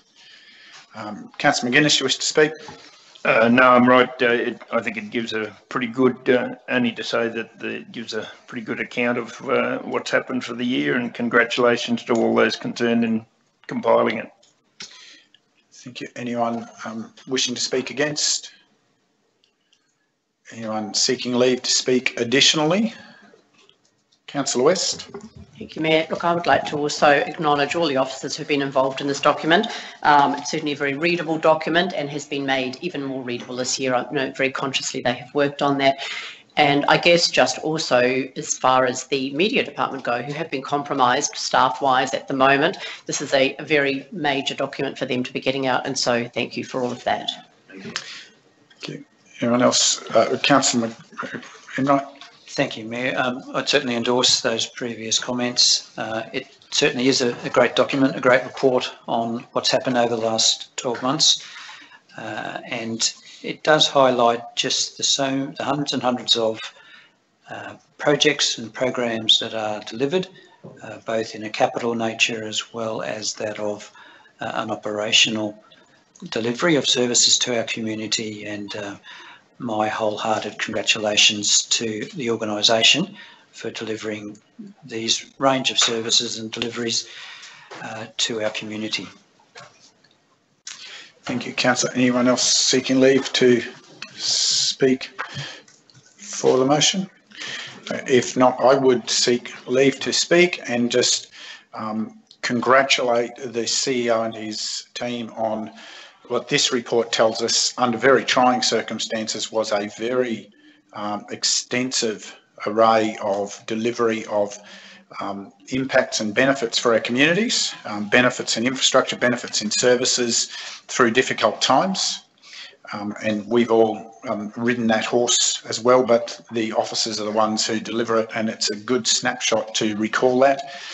to also recognise that the auditor is um, comfortable with the focus of our existence and the format of the report is worth calling out as it's another step forward in modernising um, and um, bringing the information into a more usable form, particularly with the functionality for those um, vision impaired that was switched on last year, the opportunity for people to have better access, uh, a wider range of people to have access in the community is a real plus. So thank you, and I commend the annual report as well. Councillor McInnes, you wish to close? No, I'm right. Thanks, Mayor. We put the motion. Those in favour? That's carried unanimously. Thank you, councillors. Um, at um, at 10.45 we are going to adjourn for um, 20 minutes for a quick refreshment and stretch the legs. Um, for those in the gallery, please take the time to cup of tea or your favourite um, non-alcoholic beverage at this time of day and um, rejoin us at, um, at 11.05 if you please. And um, we'll just pause there. Thank you. Welcome back, councillors, uh, executive and officers, and welcome back to those joining us in the digital gallery as we resume our meeting and turn our attentions to item 10.6. I'll ask the GM Council Sustainability to introduce this item, which commences on page 31 of the agenda if you are following along. Thank you, Mr. Mayor, and, and, yes, welcome back to the listeners out there listening to the live broadcast of today's meeting. Um, item 10.6, I, I, guess this, Mr. Mayor and Councillors, this item and the next item um, uh, really intend to provide clarity around previously raised uh, matters or concerns that emanated from um, prior council meetings. Um, in, in, part, this allows for um, closure, um, both uh, for council and, and, and the community that, that were listening at, at those particular points in time. Uh, I, I, will make reference that while 10 point, uh, item 10.6 makes reference to correspondence um, received from the department and, and it certainly provides um, dot points around what was contained in the um, um in that correspondence. For the purpose of 10.6, it, it really just relates to the first dot, dot point, two dot point items. Um, uh, that is a, the definition of, of budget and how it applies to, in particular, to section 254J3C. Um, I, I, will make further reference, Mr. Mayor, that whilst the um, the focus is on the budget clarification matter, um, it, it, should also be pointed out that there is um, um, no evidence, um, and it was raised earlier in today's discussions, there is certainly no evidence from relevant authorities to indicate council is currently non-conforming non-conforming or acting unlawfully uh, with its current meeting platforms and meeting suite of documents. Um, there is a body of work uh, currently being undertaken and it will certainly um, um, progress through informing councils at a workshop and, and progressing to uh, an open um, ordinary council meeting. Um, uh, recognising advice around some points um, that, that pertain to council uh, meeting structures and and or meeting suite of documents, but nothing to the extent that contradicts uh, relevant legislation. Um, noting also that in, in, in, circumstances where an anomaly may arise, uh, contained in, in current council policy, the legislation will, will always be the, um, the statutory head of power. Um, back in, in to the report at hand, item 10.6 this relates to a um, a, a previous um, circumstance where um, confirmation was was sought around the definition um, of, budget as it related to section 254J3C and whether or not um, council was applying this in the correct context um, as contained in the um, uh, in, in the report. Um, council officers sought advice from the department to make sure that that in fact it was used in, in the appropriate um, mechanism that was contained in the legislation and, and certainly sought um, secondary advice from legal advisors to make sure that um, you know the use was consistent um, or the interpretation with officers was consistent consistent with the um, intent of the legislation. Um, I take the matter, uh, I take the report as being read and open the for further clar clarification, Mr. Mayor. Thank you, GM, for introducing it. Are there uh, any points for clarification that councillors wish to ask? Councillor Swanborough. Uh, thank you, Mr. Mayor. My, my question is um, in relation to the statement about the first two points um, uh, about uh, the meeting suite of documents. Um, could you advise me why we're doing uh, uh, a, review of the meeting suite of documents? Um, it, it's it's emanated out of um, some, uh, I, I, guess, confusion or some misinterpretation, and certainly some points that that have necessitated in order to, you know, not let these matters, um, um you know, bog down proceedings.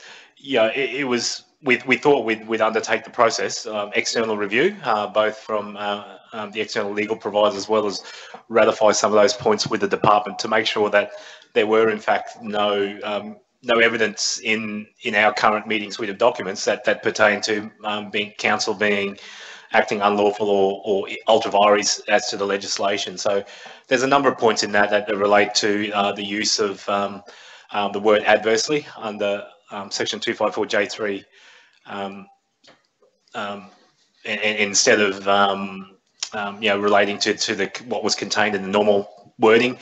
So and there was conjecture around or sort of some confusion around some other aspects. So um, uh, for completeness, um, the body work's been undertaken now. There's been a, a, a number of parties that have that have provided commentaries in, in uh, with to, to, to council, including uh, legal providers, uh, the department also we're waiting on sort of some stuff from the ombudsman, but but for the for the purpose of this report, you know, it really deals with the the definition of budget and how officers were were putting forward for consideration for council to consider a matter in closed. The body of work around the meeting structures, the meeting suite documents, that will be progressed um, in, in due course, and that's hopefully that'll um, identify some um, further aspects as to, to your question now. Do you have? Uh, I guess you've. Uh, sorry, councillor, you have a further question. Yes, I do. I, guess you've answered in part uh, uh, my question, which was, you know, why are we doing this? Um, and you mentioned that the ombudsman was involved. Um, I I wonder if you could expand on that. Uh, is the ombudsman asking us to review our documents, or or is the department Sorry. asking us to review our documents, or why? What precipitated this uh, action? Sorry, councillor. I believe the GM has provided the clarity that there'll be a further report coming, which will detail all of that. But the matter today is specifically relating to consideration on budgets. The GM wishes to reply, that's fine. But we, he's reiterated three times the clarity of the scope of what we're focused on today, um, and that was specifically around a particular matter that was raised around budgets. But GM, happy if you wish to provide further response. Oh, um, that, that's correct, Mr. Mayor. And I guess I'll, I'll just you know close in the um, uh, providing that you know um, regardless of the the works that's currently undertaken, you know there's certainly no indications. Um, otherwise, we would certainly um, have received uh, advice from the department to have immediate um, review of our meeting suite documents to the extent that um, um, you know, whilst the ombudsman may be un undertaking a review, there's nothing out of the uh, ordinary. I guess it's just the interpretation or usage of council, but there's nothing um, that's been provided to us uh, from the higher authorities to indicate that um, our policies or our procedures and our um, meeting formats are, are, contradictory to the legislation. But that'll certainly be provided in, in, in greater detail when that additional body of work comes forward to council. Yeah, I so, think. Councillor, do you have a question? Yeah, my yes. question question is, uh, wouldn't you be uh, overstepping the uh, mark by presuming at this point in time, before that other body of work so, comes towards us, wouldn't you be presuming uh, that you everything is okay with what we're doing? Presumptuous, if you like, Sorry, because because you've said Councillor, I'm just going to call a point of order on that. That's an argumentative question, not seeking clarity to the matter before us today. So we're talking a clarity to the the matter before us today was clarified about can this issue about can the term budget be used for current and future budgets, not just for future?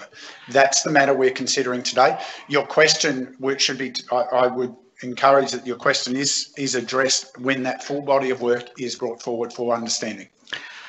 Uh, that's fine, Mr Mayor, but it's in the report and um, it's there, put on the public record and it's on page, it's on, it's, it's on page, uh, it's in item 10.6 32. and it's on page 32. And it wasn't I who raised the matter, Mr Mayor. So- The General Manager introduced it and I was responding because you So- invited questions on this particular On matter. clarity on the matter, which the GM had clarified pertained to budget. But I've at latitude to ask additional questions, but you're going off into an area of speculation, asking the GM to speculate. Um, GM, can, just to close this out, can you clarify from the correspondence currently received from the department, which is what you referred to, was, was there anything identified there that said council was acting, had, was illegal? No, Mr Mayor. Thank you. So councillor, that's a clarification of what the GM originally said. We can't speculate on what other matters might come, as you rightly point out. That's why we'll have to wait for further confirmation of that from any other conversation from the Ombudsman. Okay, thank you, Mr Mayor. Um, my, my next question is um, in, in relation to the advice received. And the advice received um, has been deemed confidential uh, because it's been well discussed in our confidential briefings, uh, the advice received. Um, I would like to move a procedural motion right now. Um, and my motion is that the advice from the, the executive uh, the Deputy Director General of Local Government Division, Natalie Wilde, advice on this matter, which has been preceded uh, into the report, uh, be tabled to this meeting. Um, perhaps councillor, before you move that, you might want to ask the question. Um, I understand in terms of preparing for the meeting that um, GM or CEO, you might advise um, the process for seeking approval to release. Could you elaborate on what your steps have been? Yes, thank you. Mayor. Yeah, given this is a third-party document, um, I, I see no issue in, in, in trying to address that matter, but we would need to see consultation with the department in allowing the release. Um, at which point in time, um, when, once we do get approval from that, then, then certainly the, Uh, just a question, well, on that particular issue, did you get approval to precede the document in this report from Natalie Wilde, the director, or Rebecca McAnellum? Um, did you get a, an approval to precede this letter into the report? what we provided there is just paraphrase. It's not, you know, it it certainly was just the intent to provide clarity on the matter. Um, similar with, um, yeah, when we get legal advice, um, we provide a, a summary of the matter. We don't necessarily put the whole legal advice for, um, um, for, for that purpose, but So councillor, you have a procedural motion. Do you still want to proceed with it? Uh, yes, I do. Okay, um, we have a procedural motion. Uh, I'll speak to it. Is that the wording?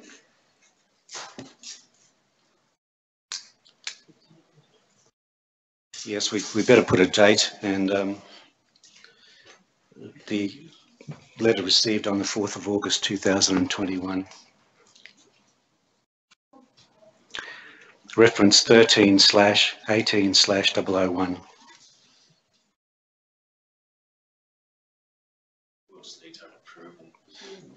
Well, this is asking for it to be tabled today. I'm not sure that we're able to do that. Well, well, well, that's the motion, that's the procedural motion that's before us, tabled to this meeting. I'm presuming that's today. Um, well, that's the motion. We can't argue that's his procedural motion. Um, You can speak to it, councillor. No, I, I'm saying that, that the letter, not the advice, that the letter from the Deputy Director General of Local Government dated, we'll make that dated the 4th of August 2021, be tabled at this meeting. Uh, You wish to speak to your motion, councillor? Uh, yes, Mr Mayor. Mr Mayor, I've uh, looked at the at the letter. Um, there is no disclaimers uh, on the letter whatsoever. Uh, I would have thought uh, if this was general advice to the council, there would be a disclaimer on this particular letter. The general manager has proceed uh, all the most of the well, I'd say all of the issues that were raised in that particular letter into this report, and I don't think that there's uh, any uh, problems with releasing this particular letter as it's all the information has been taken and proceed into this report, but I'll be open to the decision of the meeting. The reason I want to table this report, Mr Mayor, is it mentions my name and it mentions that uh, that the director has briefed the uh, the relevant officers in the department about what I said at the council meeting or what I didn't say. And um, I made it quite clear uh, at the meeting that I'd re received advice from the department. And uh, I'd also received advice from the LGAQ. We, we all heard it. And matter of fact, I said that in the meeting, and I don't believe that was correctly conveyed to Mrs. McAllen, who says that I am not aware. Sorry, Councillor. Councillor, you're, you're. I'm tracing the letter. I'm tracing Sorry, what no. Councillor, you're reading a specific section of the letter that would be inappropriate until we've resolved this matter. Well, she, she, she You've indicates, spoken in she indicates that uh, she was not briefed correctly um, in relation to this particular matter. And I wish to table this document because it's not only that in the document, there is a whole lot of uh, uh, other advice to council in relation to transparency and open decision making, which hasn't been included in this in this report. And I think it's in the public interest. Yes, you- I'm just notifying you on time. I- I'm, I'm saying that it's in the public interest that this letter be tabled uh, for full disclosure and transparency in relation to this matter. Um, Anyone wishing to speak against the, the procedural motion, councillor Enright? Mayor, may I ask a question? You can ask a question before we make a particularly deemed to in, speaking. in regard to uh, the requirements for a third-party letter to be disclosed. Uh, What is the process that we need to follow as a council to ensure that uh, we're operating within the requirements of legislation? Um, I'll ask the GM if he's able to provide that, or do we need to adjourn for more clarity?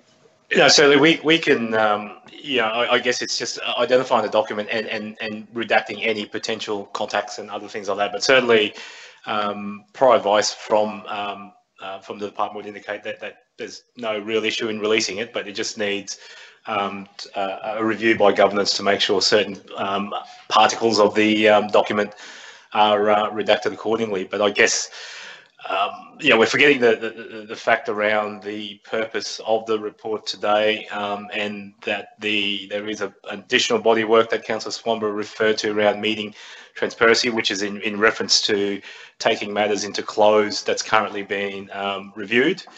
Um, and and that body work is being provided. It's there's no um, there's no nothing addressed in this particular report on those comments, is which is why I've sort of made reference to um, to that particular matter. I, I certainly can provide um, the attached letter to the upcoming report for, for better clarity so that it, it is, because three quarters of that letter addresses those particular matters as part. Uh, there's one reference to the budget matter which relates to this agenda item on hand. Um, Does that answer your question, councillor? No, not quite. Um, Can I ask the process to follow for the letter in its entirety um, to be released, what it was from a third party? What is the process that we need to follow? Thanks, Thanks, Councillor. Um, anyway, I, I might um, provide that question to Council's Principal Specialist Governance and Assurance to provide letters of release when uh, relating to third-party documents. Yeah, thank you, Oliver, and um, thank you, Council, for the, the question. What I can say is that there's a risk that until we assess the document, because we haven't come here today prepared to release it, um, there's a risk that in any document that um, you know is confidential or is or might contain privacy or private information or, or confidentiality um, um, material in it, um, that it needs to be assessed. So there is no process other than, uh, as part of the decision making, we need to make sure that we manage that risk by having that, that document, whatever it is, properly assessed and any potential private or personal information or anything uh, that's confidential is redacted or recommended to be redacted prior to that release. So that's that's the reason why there's some caution around just wholeheartedly releasing something um, without that assessment taking place. Thank you for that clarification. Councillor Enright, does that provide clarity to your question? Yes. Now, um, do, um, do we have another question that we're looking for? Otherwise, I'm looking for a speaker, anyone speaking against. So do you have a question? Yes, I have a question. Sorry, Councillor McInnes first.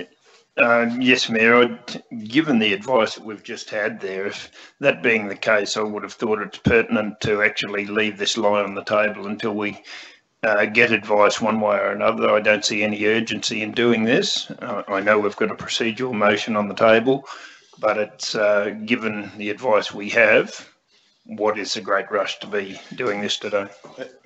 With regard, to, you're talking in regard to the procedural motion. No, I'm talking about the. Well, well, well, no, you can only be talking about. Sorry, Councillor, you can only be talking about the procedural Right, motion at the moment. You can talk further about the other in a minute, but we're talking about procedural motion. Sorry, I've just got to try and keep us in the proper process. Now, Councillor Swanborough, did you have a further question? Uh, my question was uh, in, in relation to the advice received from the governance manager. Um, when uh, when a, a letter is received and it, and it refers to the name of a councillor, you know, what privacy rights do I have if this letter is not going to be released um, for privacy reasons? And my it contains some personal information of mine. How is it that it can be therefore uh, released when people are telling me that I have to go through a process to release the balance of the of the information in the letter Sorry, Mr Mayor, just to, a So bit I- I'd rather we approach the, the GM, please. Um, thank you. just for the context, um, and, and certainly provide it- it further clarity, but, but I guess council and, and the public listening, you would recall that, that when this matter first was um, tabled to council back on the 25th of May 2021, um, the matter related to um, the consideration to go into closed. You know, the matter wasn't actually spoken or, or discussed. It, it, it got bogged down into council considering um, to go into closed to discuss that particular matter. Uh, at which point in time, and it, it, it's evident on the tape because we, we've relied on the on the on the broadcast recordings to get the exact wording um, to make reference back to the department around the, the exact quotes and references um, that have emanated that discussion. So, you know, the question around how did how did or where or how did this emanate? If you go back to the recording of that meeting, it's clear there in the recording as to the purpose. We did adjourn at, at one point in time to get legal advice. Uh, sorry, to to contact the department who were um, uncontactable at that point in time. In which case, we then proceeded to contact our legal providers who had the same advice that they didn't uh, perceive any any impact. Um, the following correspondence, uh, the following discussion then emanated that, that that in lieu of no advice from the department that the matter um, um, be deferred to another meeting until that clarity was received. And and for the purpose of today's report, that clarity is provided. Now the department did include a, a number of other points of on of of other either other um, topics into that same correspondence, and we've been transparent in, in including all that. Otherwise, yeah, in that particular, we could have just made reference to that one particular point in that correspondence that related to this budget, but we we outlined what was contained in that whole correspondence in, in, in dot point to to provide the, the the, the the segue into that other body of work that's still continuing as well. So, So can I just pause there? Thank you for that clarification. I'm not sure that quite, I, I understand. Councillor Swanborough's question was, um, how is his privacy being protected in the current approach? Is my take of what was asked. Um, and it, is it is it a reasonable interpretation that by not releasing the document that is maintaining that privacy of those comments or those references until such time as that process can be considered to consider what can be released. Is that what I'm understanding from your response to try and help bridge the gap? Is that the document staying confidential protects that privacy of personal details? That, that's correct, Mr. Mayor. And certainly, um, post we can review it and then be able to assess as, as the uh, Prince Professionals Governance and Assurance indicated before. So does that answer your question? Mr Mayor, Councillor? I'll withdraw my um, my procedural motion and I'll make another procedural motion that this matter lie on the table uh, until this further advice is received.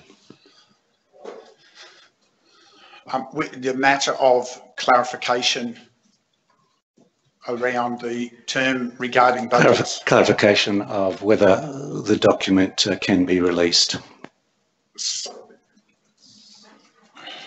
Right, yep, that's not interfering with the matter before us today. Right.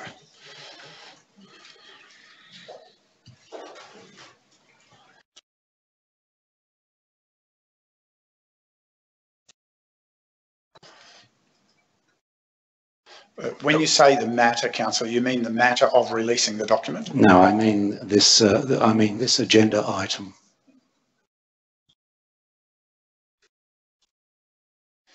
Mr. Mayor, also just for cl- um, clarification, the terminology lie on the table um, relates to being able to be addressed at some point in time in the meeting. Um, Yeah, which is. If- I- is- I- is that what- was that the intent? Coming Sorry. to that Be point. deferred. Let's say be deferred.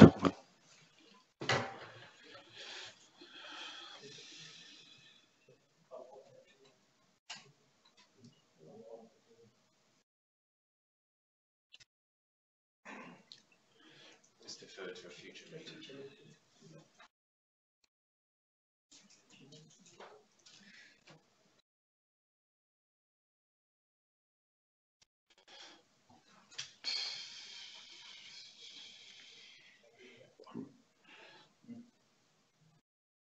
Sure whether that- eh, You wish to speak to this procedural motion, councillor? Uh, look, Mr Mayor, I'll, I support this and I recommend uh, it proceed because if the letter is able to table it, I'm happy with the advice received because it, it puts it into a fuller context of what was trying to be achieved and and it, it it's not cherry picking words or, or advice received, it gives the full picture. And I think that's what the meeting and the public deserve in these circumstances. Anyone wishing to speak against?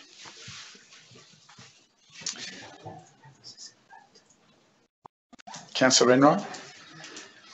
Mayor, I do have concerns about this item being delayed one more time. Um, To me, the reason that it was deferred in May was that we were unsure that the relevant items, capital works update, um, quarter three, I think it was, um,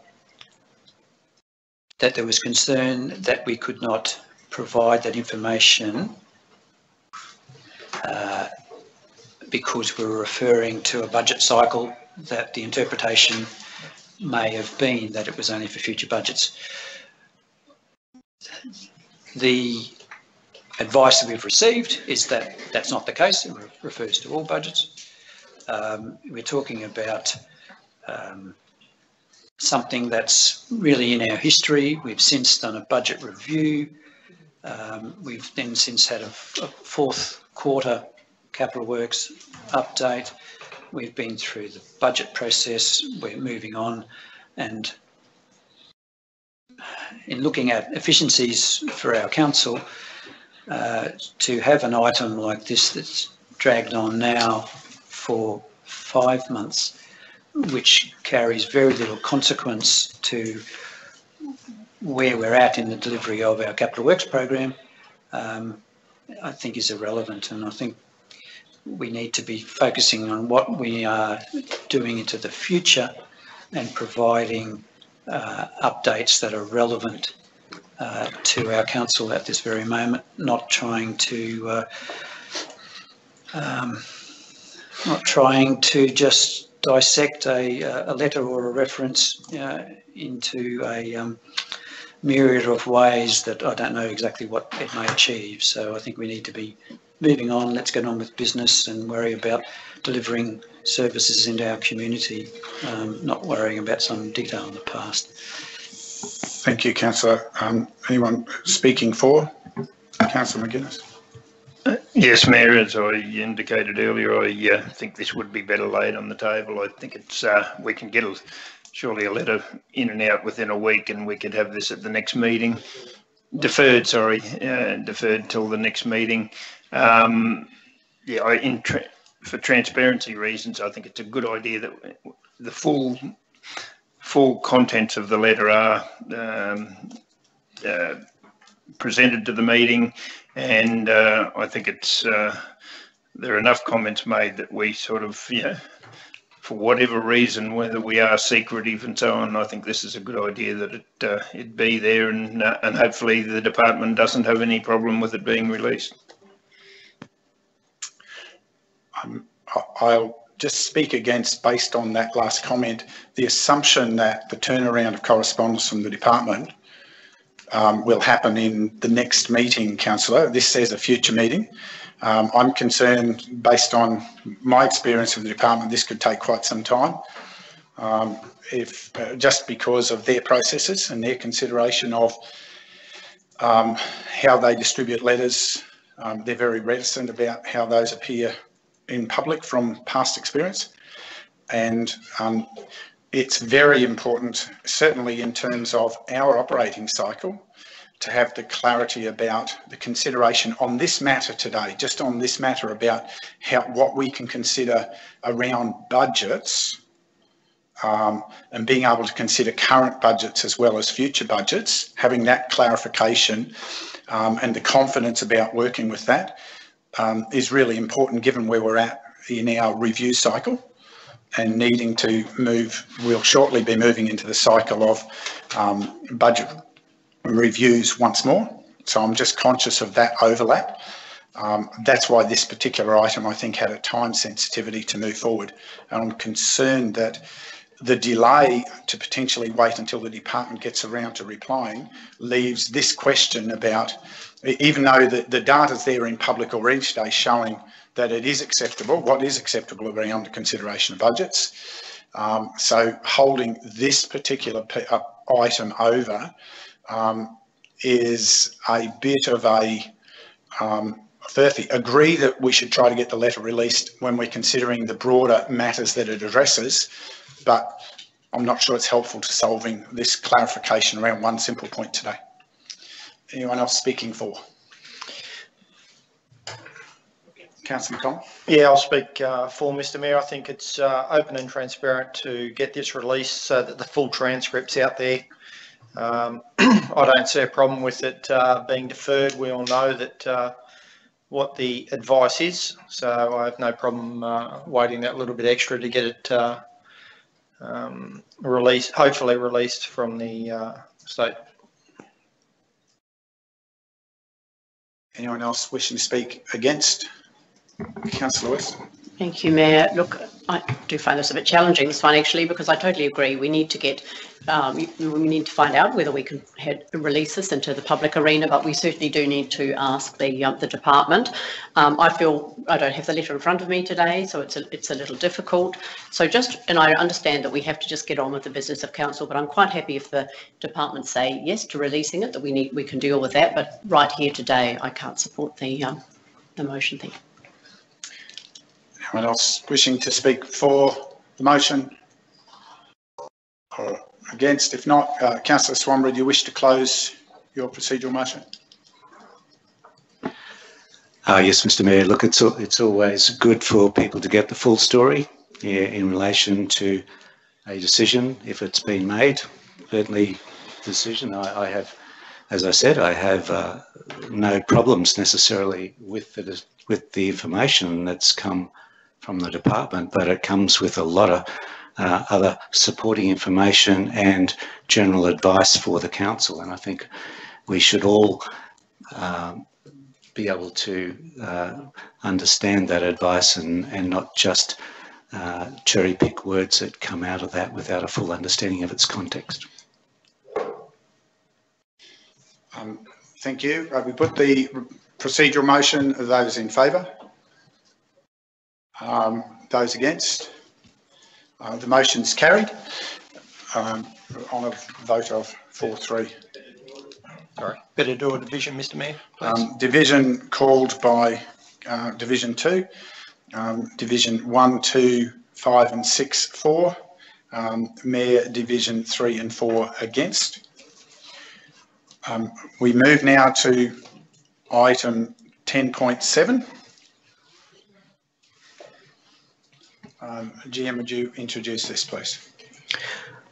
Thank you, Mr. Mayor. Now, hopefully, uh, 10.7, this is another uh, clarification matter that ha- has emanated uh, from a meeting held back in 9th of March 2021. And as the uh, report indicates, it was when council uh, was considering a, um, a, a paper around the request from the Fassifern District Historical Society for uh, financial assistance. Again, from the uh, transcript of the report, as um, indicated, or from the transcript of that meeting, as indicated in the um, previous recommendation, there was there was certainly some um, uh, rigorous discussion around the matter, and there were some points where um, clarity was being sought around the proposed actions by council in, in, in providing or in, in considering this matter, and certainly um, um, around the the way the matter was heading towards being how it was being dealt with. Excuse me. Um, the report intends to provide um, that um, the department indicated that the upon listening to the uh, the, meeting, they had no uh, particular particular issues with the resultant um, um, outcome of the matter.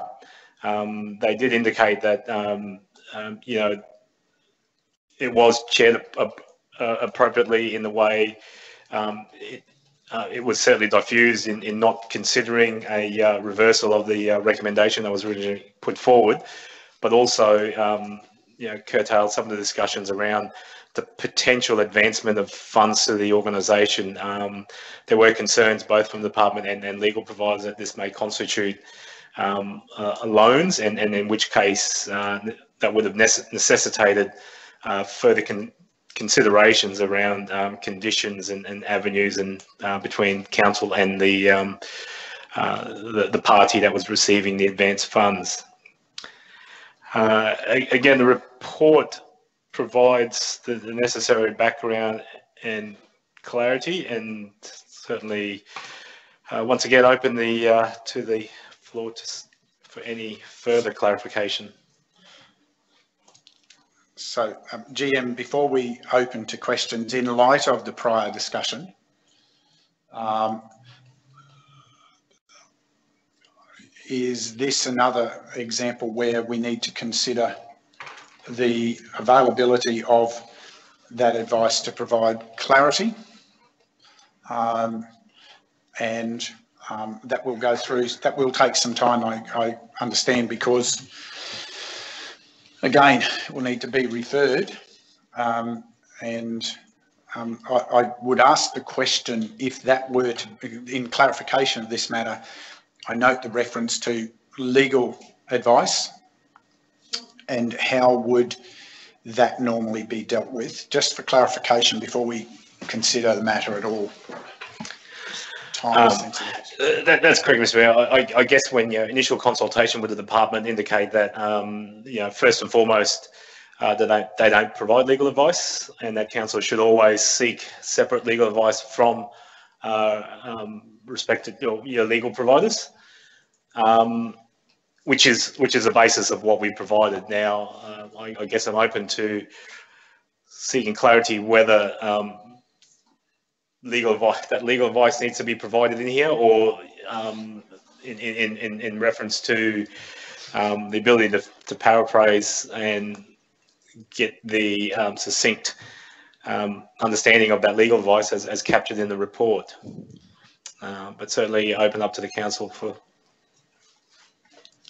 Um, So councillors, do you wish to um, get clarification around this matter as it's tabled? Is the first question. Um,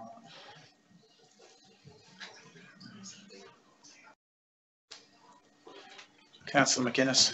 Uh, yes, Mayor, and I see your reasoning behind you for consistency and have we, is, is it different though in that Councillor Swanborough was mentioned there in, in different parts? So I've got no problem if it is deferred, this one too, but uh, I think it's often a little bit different on legal advice, uh, yeah, um, and whether, do we ask the question of them whether they want that uh, aired or is that usually, uh, yeah, is it maybe to the uh, GM to answer that? Certainly to the department, the same question could be asked.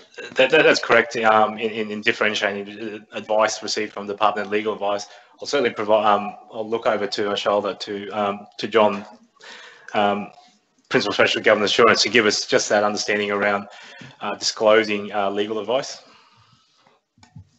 Yeah, thank you, Oliver. And um, can I just point out that legal advice that council receive is subject to legal professional privilege, and ordinarily um, that privilege is not waived by an organisation. Um, secondly, um, under the local government regulations, the, the state government re recognise the, the importance and the protection of, of um, legal advice to organisations you know, such as councils, and under 254J3 subsection E, um, it's specified in there that legal advice obtained by local government um, is one of the specific reasons why we would um, close and keep confidential a matter pertaining to that legal advice. So I would be, you know, it's it's generally something that's not done and there's those protections afforded because of the very nature uh, and intimacy that's involved with you know legal advice to the organisation.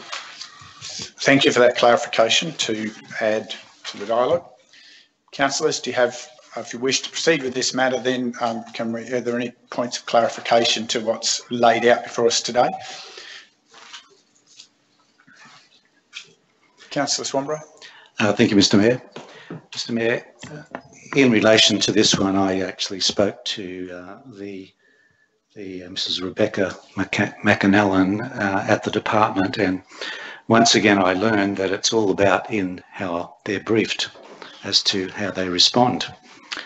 And uh, I also was concerned that uh, that uh, the way the briefing given to her was a, a, little bit different to what actually happened in the meeting. I mean, essentially, in this particular meeting, there was a brainstorming session going on, trying to think of, well, how can we help the Fassifern Templin Museum Sorry. You know, get some funding? And and uh, we couldn't determine that, but to but to represent to the department that you know, we were trying to break the law or we would have broken the law or all this sort of stuff and to make it Sorry, get point official of order, advice. Point of order, councillor. Yep. The extract in the report refers specifically, it wasn't brainstorming, it refers specifically to the motions and actions of the meeting as extracted. So you're misrepresenting what, that, that there talks about what was the processes that were dealt with on that day and finally put right. So it wouldn't want to mislead this meeting. That content in the report talks specifically to the sequence of matters that were considered that day.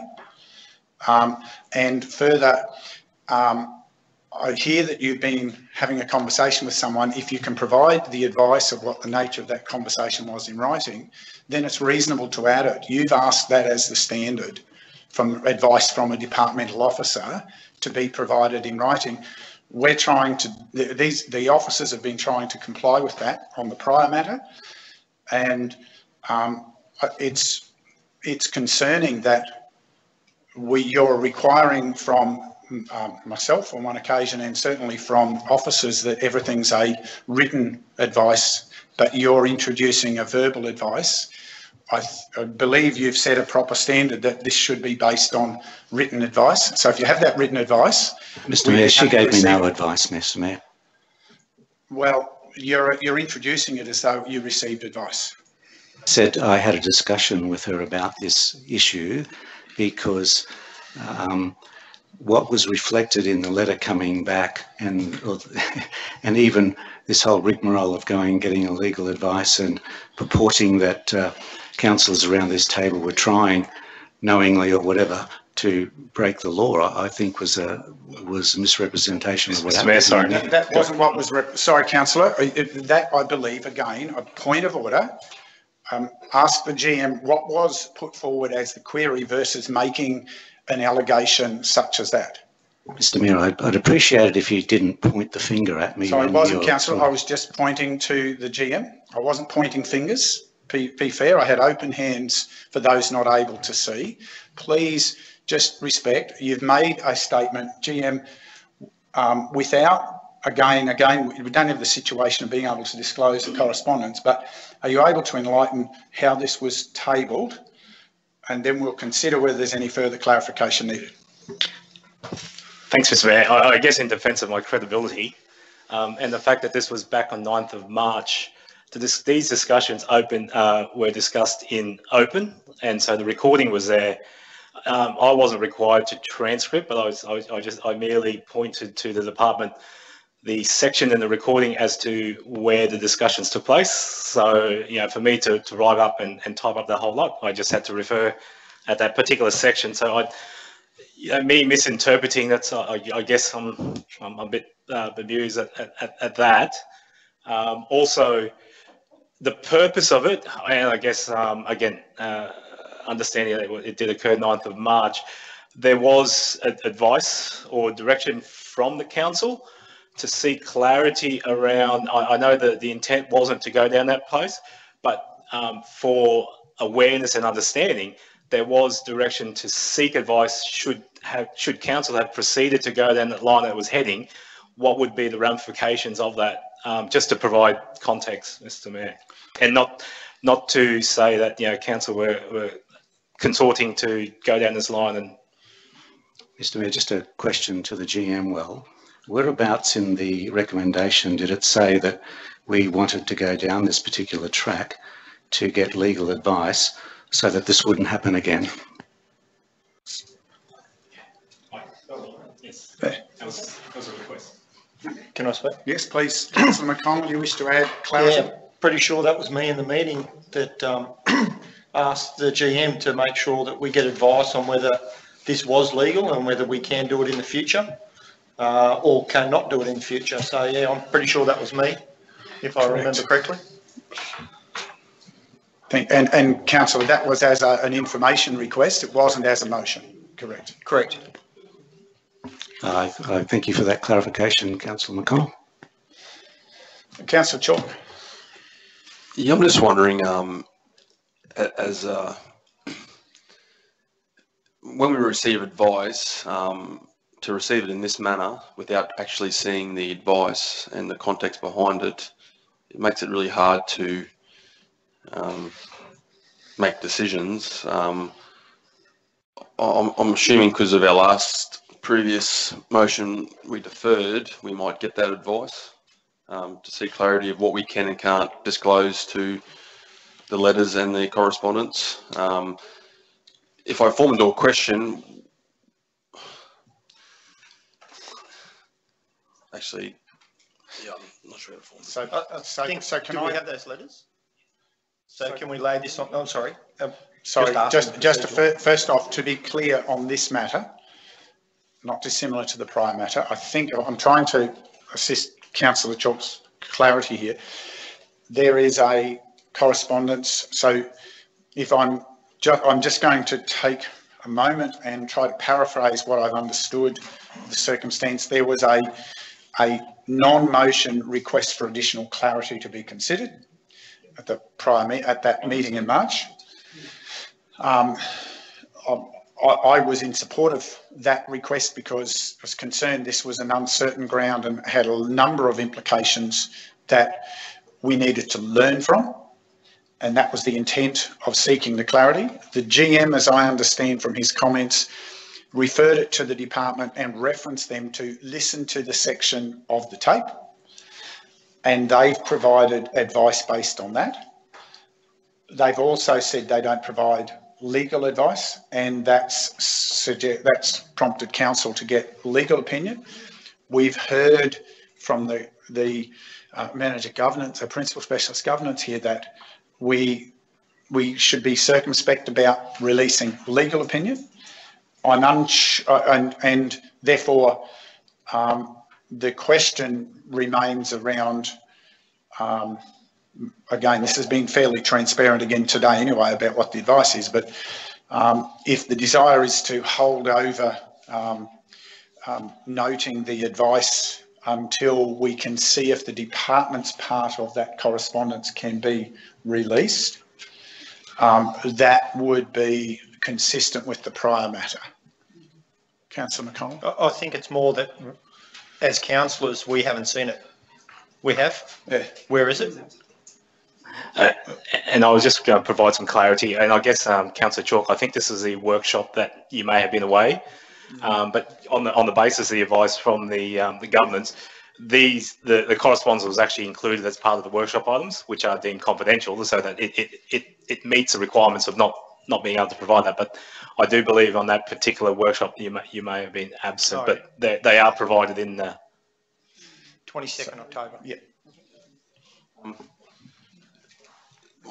Did, did that help at all, Councillor? Yeah, they did, they did help. I was wondering where all that information was. Um, I'm just wondering why a non-motion request has been brought back to an ordinary meeting for acknowledgement. Just, uh, I, I, could answer that, councillor. Um, this was, this is something that prompted a lot of public commentary and it was important to have the transparency about what was the proper process for council. And that's, however we deal with that, this was seen as an easy way because we were dealing with, a, we had a number of procedural matters that we're all trying to learn and work through and build a transparency and understanding around. This was seen as a suitable forum for that transparency, rightly or wrongly. Um, I, I supported the um, the um, advice from the GM to bring that forward. So just a question on that. Does that does that set some sort of precedent now that whenever there's a, a motion that's that's lost, uh, that we need clarification on, especially on, on a legal sort of matter, that when we request legal clarification, it's going to come back to an ordinary meeting? Uh, Councillor, um, I won't, I'm not going to um, pursue that as a reasonable question. Um, the reality is the meeting determines the things that it needs advice on and when Councillor McConnell asked for further clarity on this, and if at any time we're dealing with a matter and, and we get a request for further clarity, um, it's the role of the organisation to go and try to seek that clarity. And then it's the matter of how do you bring it forward so that it's transparent as to why that forms a part of how we make decisions. Councillor McConnell? And I think that, that's exactly right. If I remember correctly, I asked for it to come back to a meeting.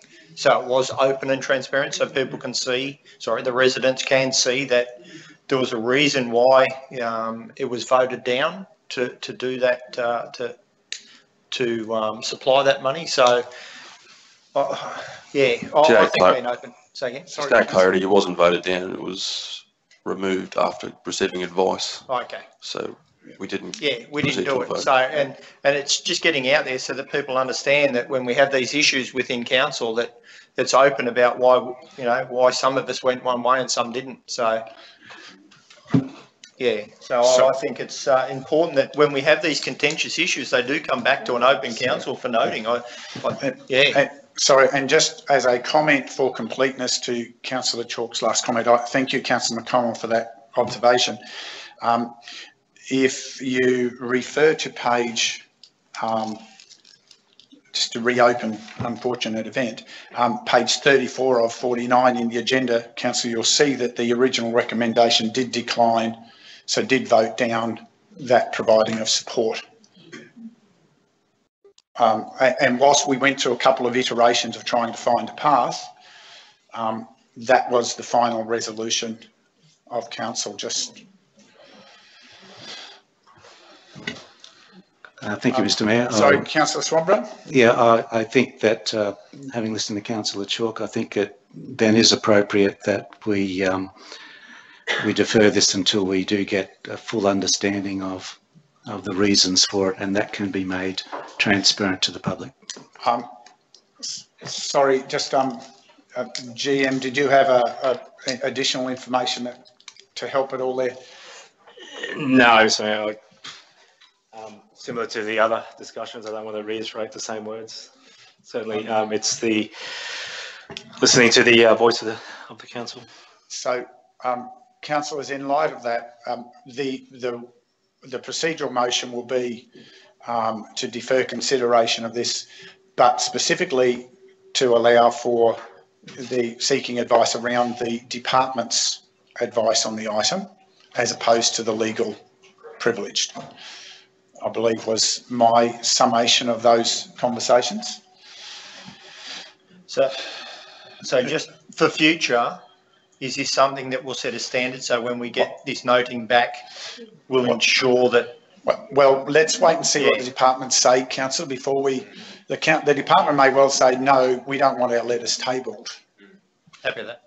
Um, and so we shouldn't preempt what their response may be, um, for that consideration. Um, so that's really, uh, and, and, um, I think the extension of that is to a future meeting, um, to, to allow, um, clarification, um, of the opportunity to, um, table the the relevant correspondence from the department in proper title when you get it to the minutes.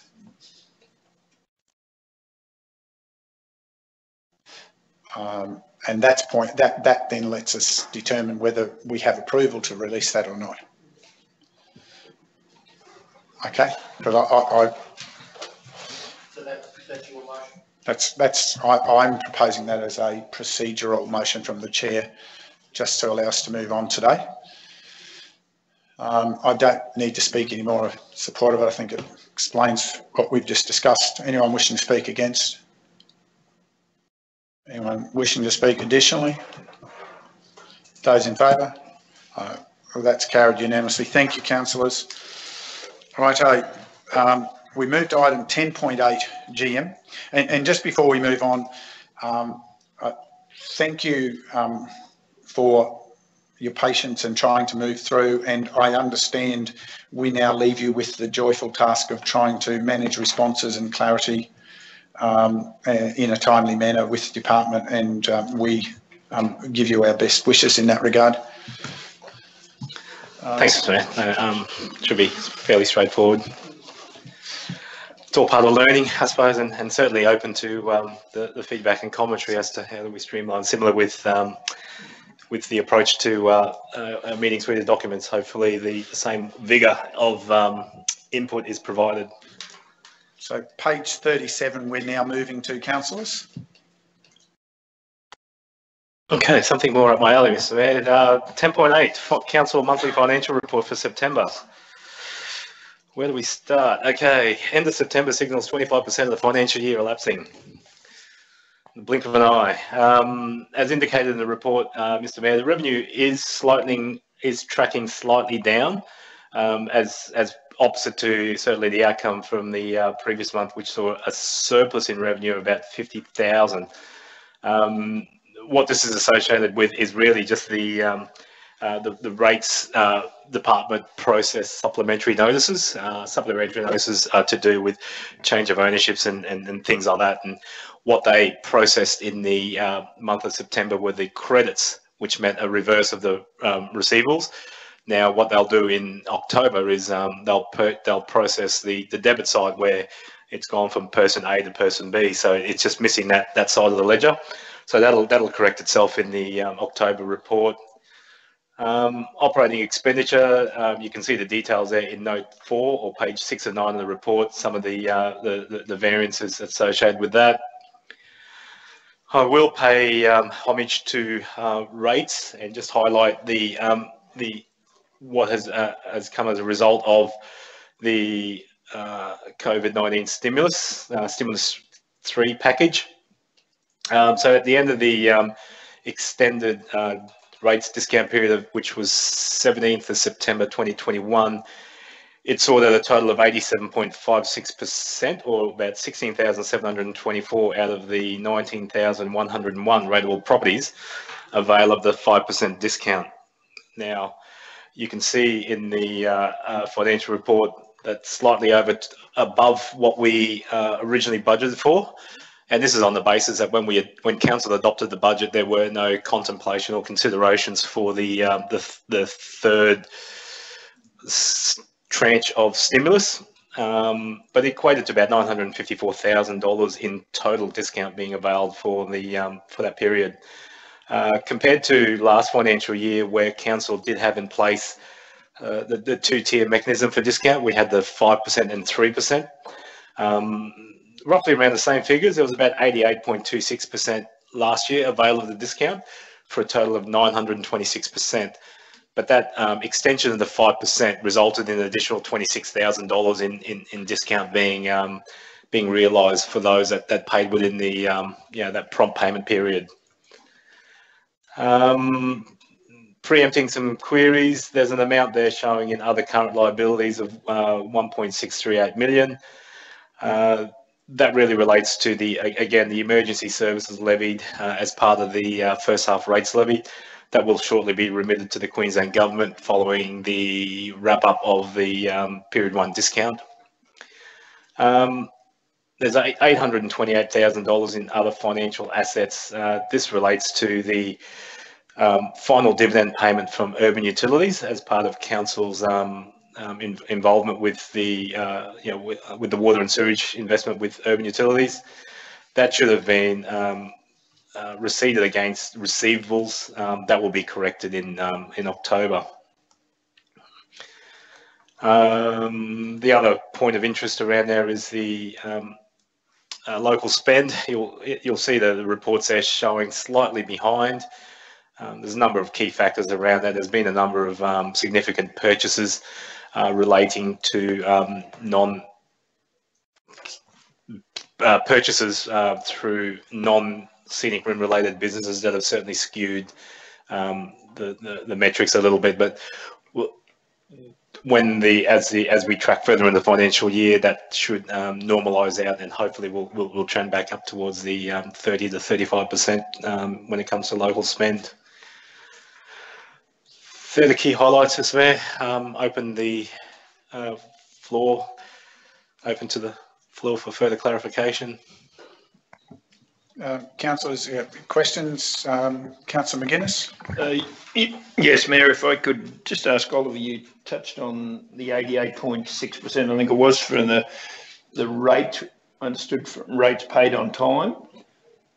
Yeah, you didn't give a figure for last year. You said it was very similar. Uh, and is that consistent with even the year before? I'm trying to remember what it was like. Is so where does that sit over a three-year period? Is the question really? Yeah, that's that, that's a good question, um, Councillor And I guess we've we've always um, know continued to monitor um, the impacts of COVID, um, and in particular the, the, the, previous year or the third year before was sort of, yeah, that non-COVID impacted area. Um, the figure for July 2020 levy um, equated to about 88.26, and that was with that the two-tier, two-tier, um, that's five percent and three percent. But obviously, with with this year's one, again, it was just under the 88 percent, 87.56 percent. It just it was a five percent extended for that additional month. Um, so dollar wise, you know, that, that there was a further impulse on council about 26,000, that, that equated to about 26,000. So compared to 926,000 in July being afforded, you know, being realised in discounts, this year was 952,000. Helpful, councillor? No idea off the top of your head what uh, the pre-COVID was like? Um, it's it's around the same figures, and I've continued to um, to make that. percent out, I'm not worried. Yeah, yeah, I've, yeah. I've made to continue that, that comment that as we track, and you know, we've we seem to be resilient yeah. as a community, um, but but certainly um, that that shouldn't negate the the considerations about providing these types of initiatives. And I'm you know mindful of the the commentary that we we have received, where those snap lockdowns have um, hindered certain businesses' cash flows, and, and this has um, you know provided that that a bit of surety and assistance to those businesses in the region. Thank you. Councillor Enright. Uh, thank you, Mayor. Um, probably preface my question again, saying another solid report for uh, this month and for the first quarter. Um, just got a couple of questions regarding, firstly, the fees and charges, and acknowledge this is predominantly a, a user pay fee for service. And I note the consistent increase of development, building, plumbing and refuse tipping fees. Is my question is, is this a seasonal spike in these items or is a, a more consistent uh, continual growth? Thanks, Councillor. And before I um, hand that to um, Acting General Manager Randall Deans, I'll, I'll, preface that by saying that, you know, we, we spoke about the annual report 2020-21 on the back of um, increased activities and, and the resilience of the regions when it comes to those. So I guess, you know, to answer one point of your question, there's a, there is a continuing um, factor associated. Hopefully, um, you know, even with the um, property searches and change of ownership that, that continues to show the, the confidence or, or, at least people wanting to be part of the region. Um, I'll transfer now to, to Randall just to give a, a, an insight into those activities. Yeah, thank, thanks for the question, Councillor Enright. Yes, with the planning, the building and plumbing fees, that activity has been constant. It was constant last year and increased, and we're showing those increased trends again this year and we'll probably bring that up statistical report probably in November, which will indicate that. But yeah, the trends are continuing and it hasn't been affected by the COVID. And I think that's because the construction industry, it wasn't closed down at any time with any of the shutdowns. Thank you. Further. Thank you. Yes, um, a couple more. Uh, I note the um, the food licences being down. Is this related to the economic stimulus package offer?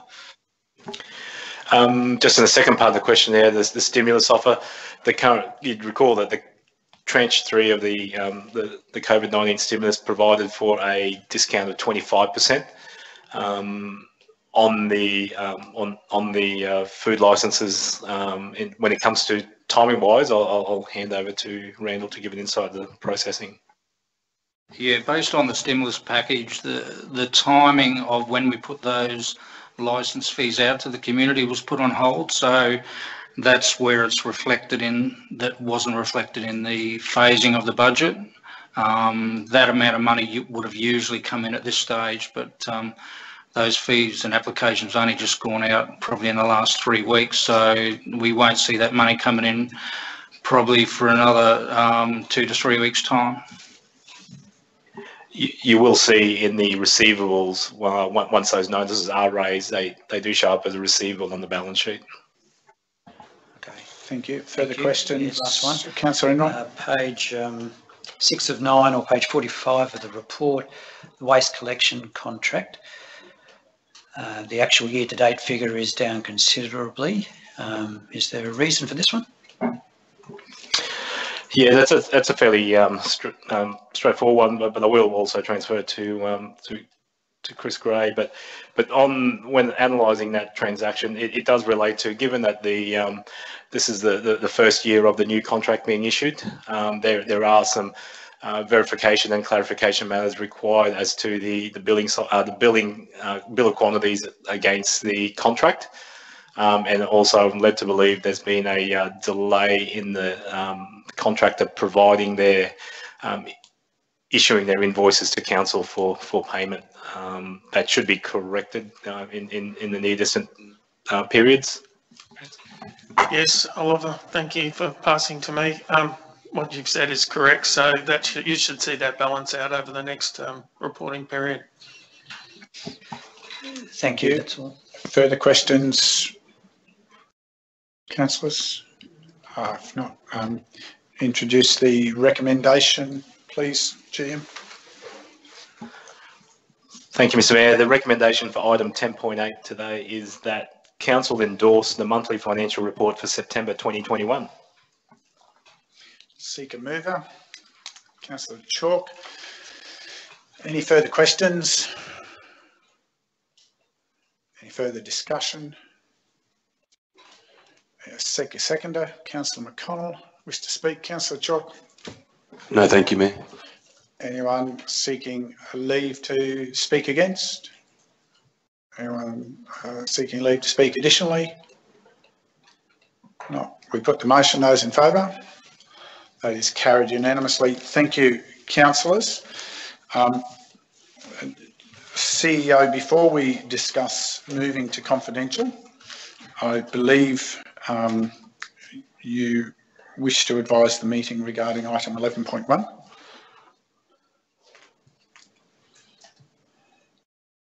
Uh, thank you, Mayor. Yes, with the absence of the General Manager, People and Strategy, I'd uh, like to uh, defer this item for Council's next meeting.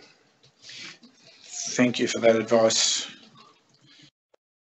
Uh, Mr Mayor, if I could also, um, given the outcome today of item 10.6, 11.2 would also need to be withdrawn. Okay.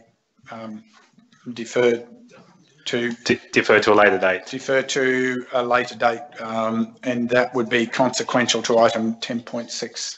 That's correct, Mr Mayor, uh, pertaining to the budget. Thank you. Okay, councillors, we have one item therefore to move into confidential for, and that is um, item 11.3 relating to Urban Utilities Board reappointment. It's closed under section 254J3G. Um, and I seek a, a motion to move into closed session. Councillor McInnes, seek seconder. Councillor McConnell. Uh, I don't believe we need, unless there's anyone vigorous, any discussion on that. Um, those in favour? That is carried unanimously. To those in the gallery, um, thank you for your participation. I'm mindful of the time and um, we will resume in open session at um, one o'clock, um, which should allow us time to deal with this matter and um, um, have a, a brief lunch adjournment and return to close out this last agenda item. Um, thank you, and if you, uh, we'll hear you back at one o'clock. Thank you. Um, councillors, we, we are due to reconvene. Could someone just see where our two wayward councillors are?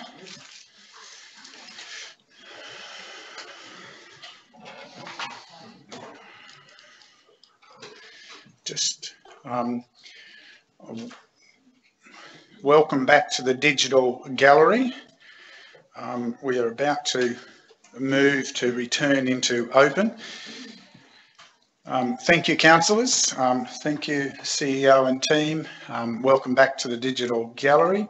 Seek a motion to return to open session. Um, Councillor Enright, seconder. Councillor West. Um, those in favour? Thank you, councillors. Now back in open session. Firstly, just for a clarification, CEO, I just refer to you for a moment. Yeah, thank you, Mayor and councillors. Uh, Prior to going into confidential, we deferred items 11.1 and 11.2. And we should have uh, had these actually withdrawn, so just correcting the record in terms of those items being withdrawn, not deferred. Thank you. Thank you, CEO.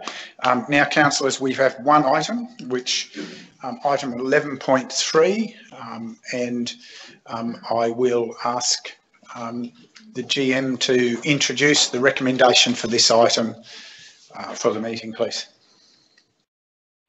Thank you, Mr Mayor. The recommendation for item 11.3 is in uh, five parts. Um, the recommendation is that one, council note the retirement of board member Kathy Hirschfield, effective 31st December 2021, with the board to appoint Directors Australia to conduct an independent recruitment process to recruit a new board member for a three and a half year term commencing 1 January 2022. Two, council endorse the reappointment of Graham Thompson as a board member of Urban Utilities for a further term of three years, effective 1 July 2022. Three, council endorse the reappointment of Philip Strahan and Mark Gray for a further term of four years, effective from 1 July 2022. Four, council delegate to the chief executive officer the authority to sign the instrument of appointment that formalises the endorsement of candidates to the Urban Utilities Board. And five, in accordance with clause 22.6.3 of Council's Standing Orders Procedure CM03.01 PR.01, Council maintain confidentiality over the content of this report and the attachments and allow urban utilities to determine the necessary releases in relation to the board appointments. Thank you.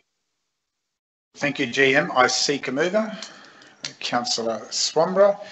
Um, any any need for any points of clarification, councillors? Not a seconder. Councillor McConnell. Um, wishing to speak? Anyone um, seeking leave to speak against? Anyone seeking leave to speak additionally? We put the motion, those in favour? That's carried unanimously. Thank you, councillors. That brings us to the close of the items for consideration for today's ordinary meeting. Um, and therefore I thank those in the digital gallery for your patience and uh, joining us for the morning and um, I bid you good afternoon and I therefore declare the meeting closed, councillors.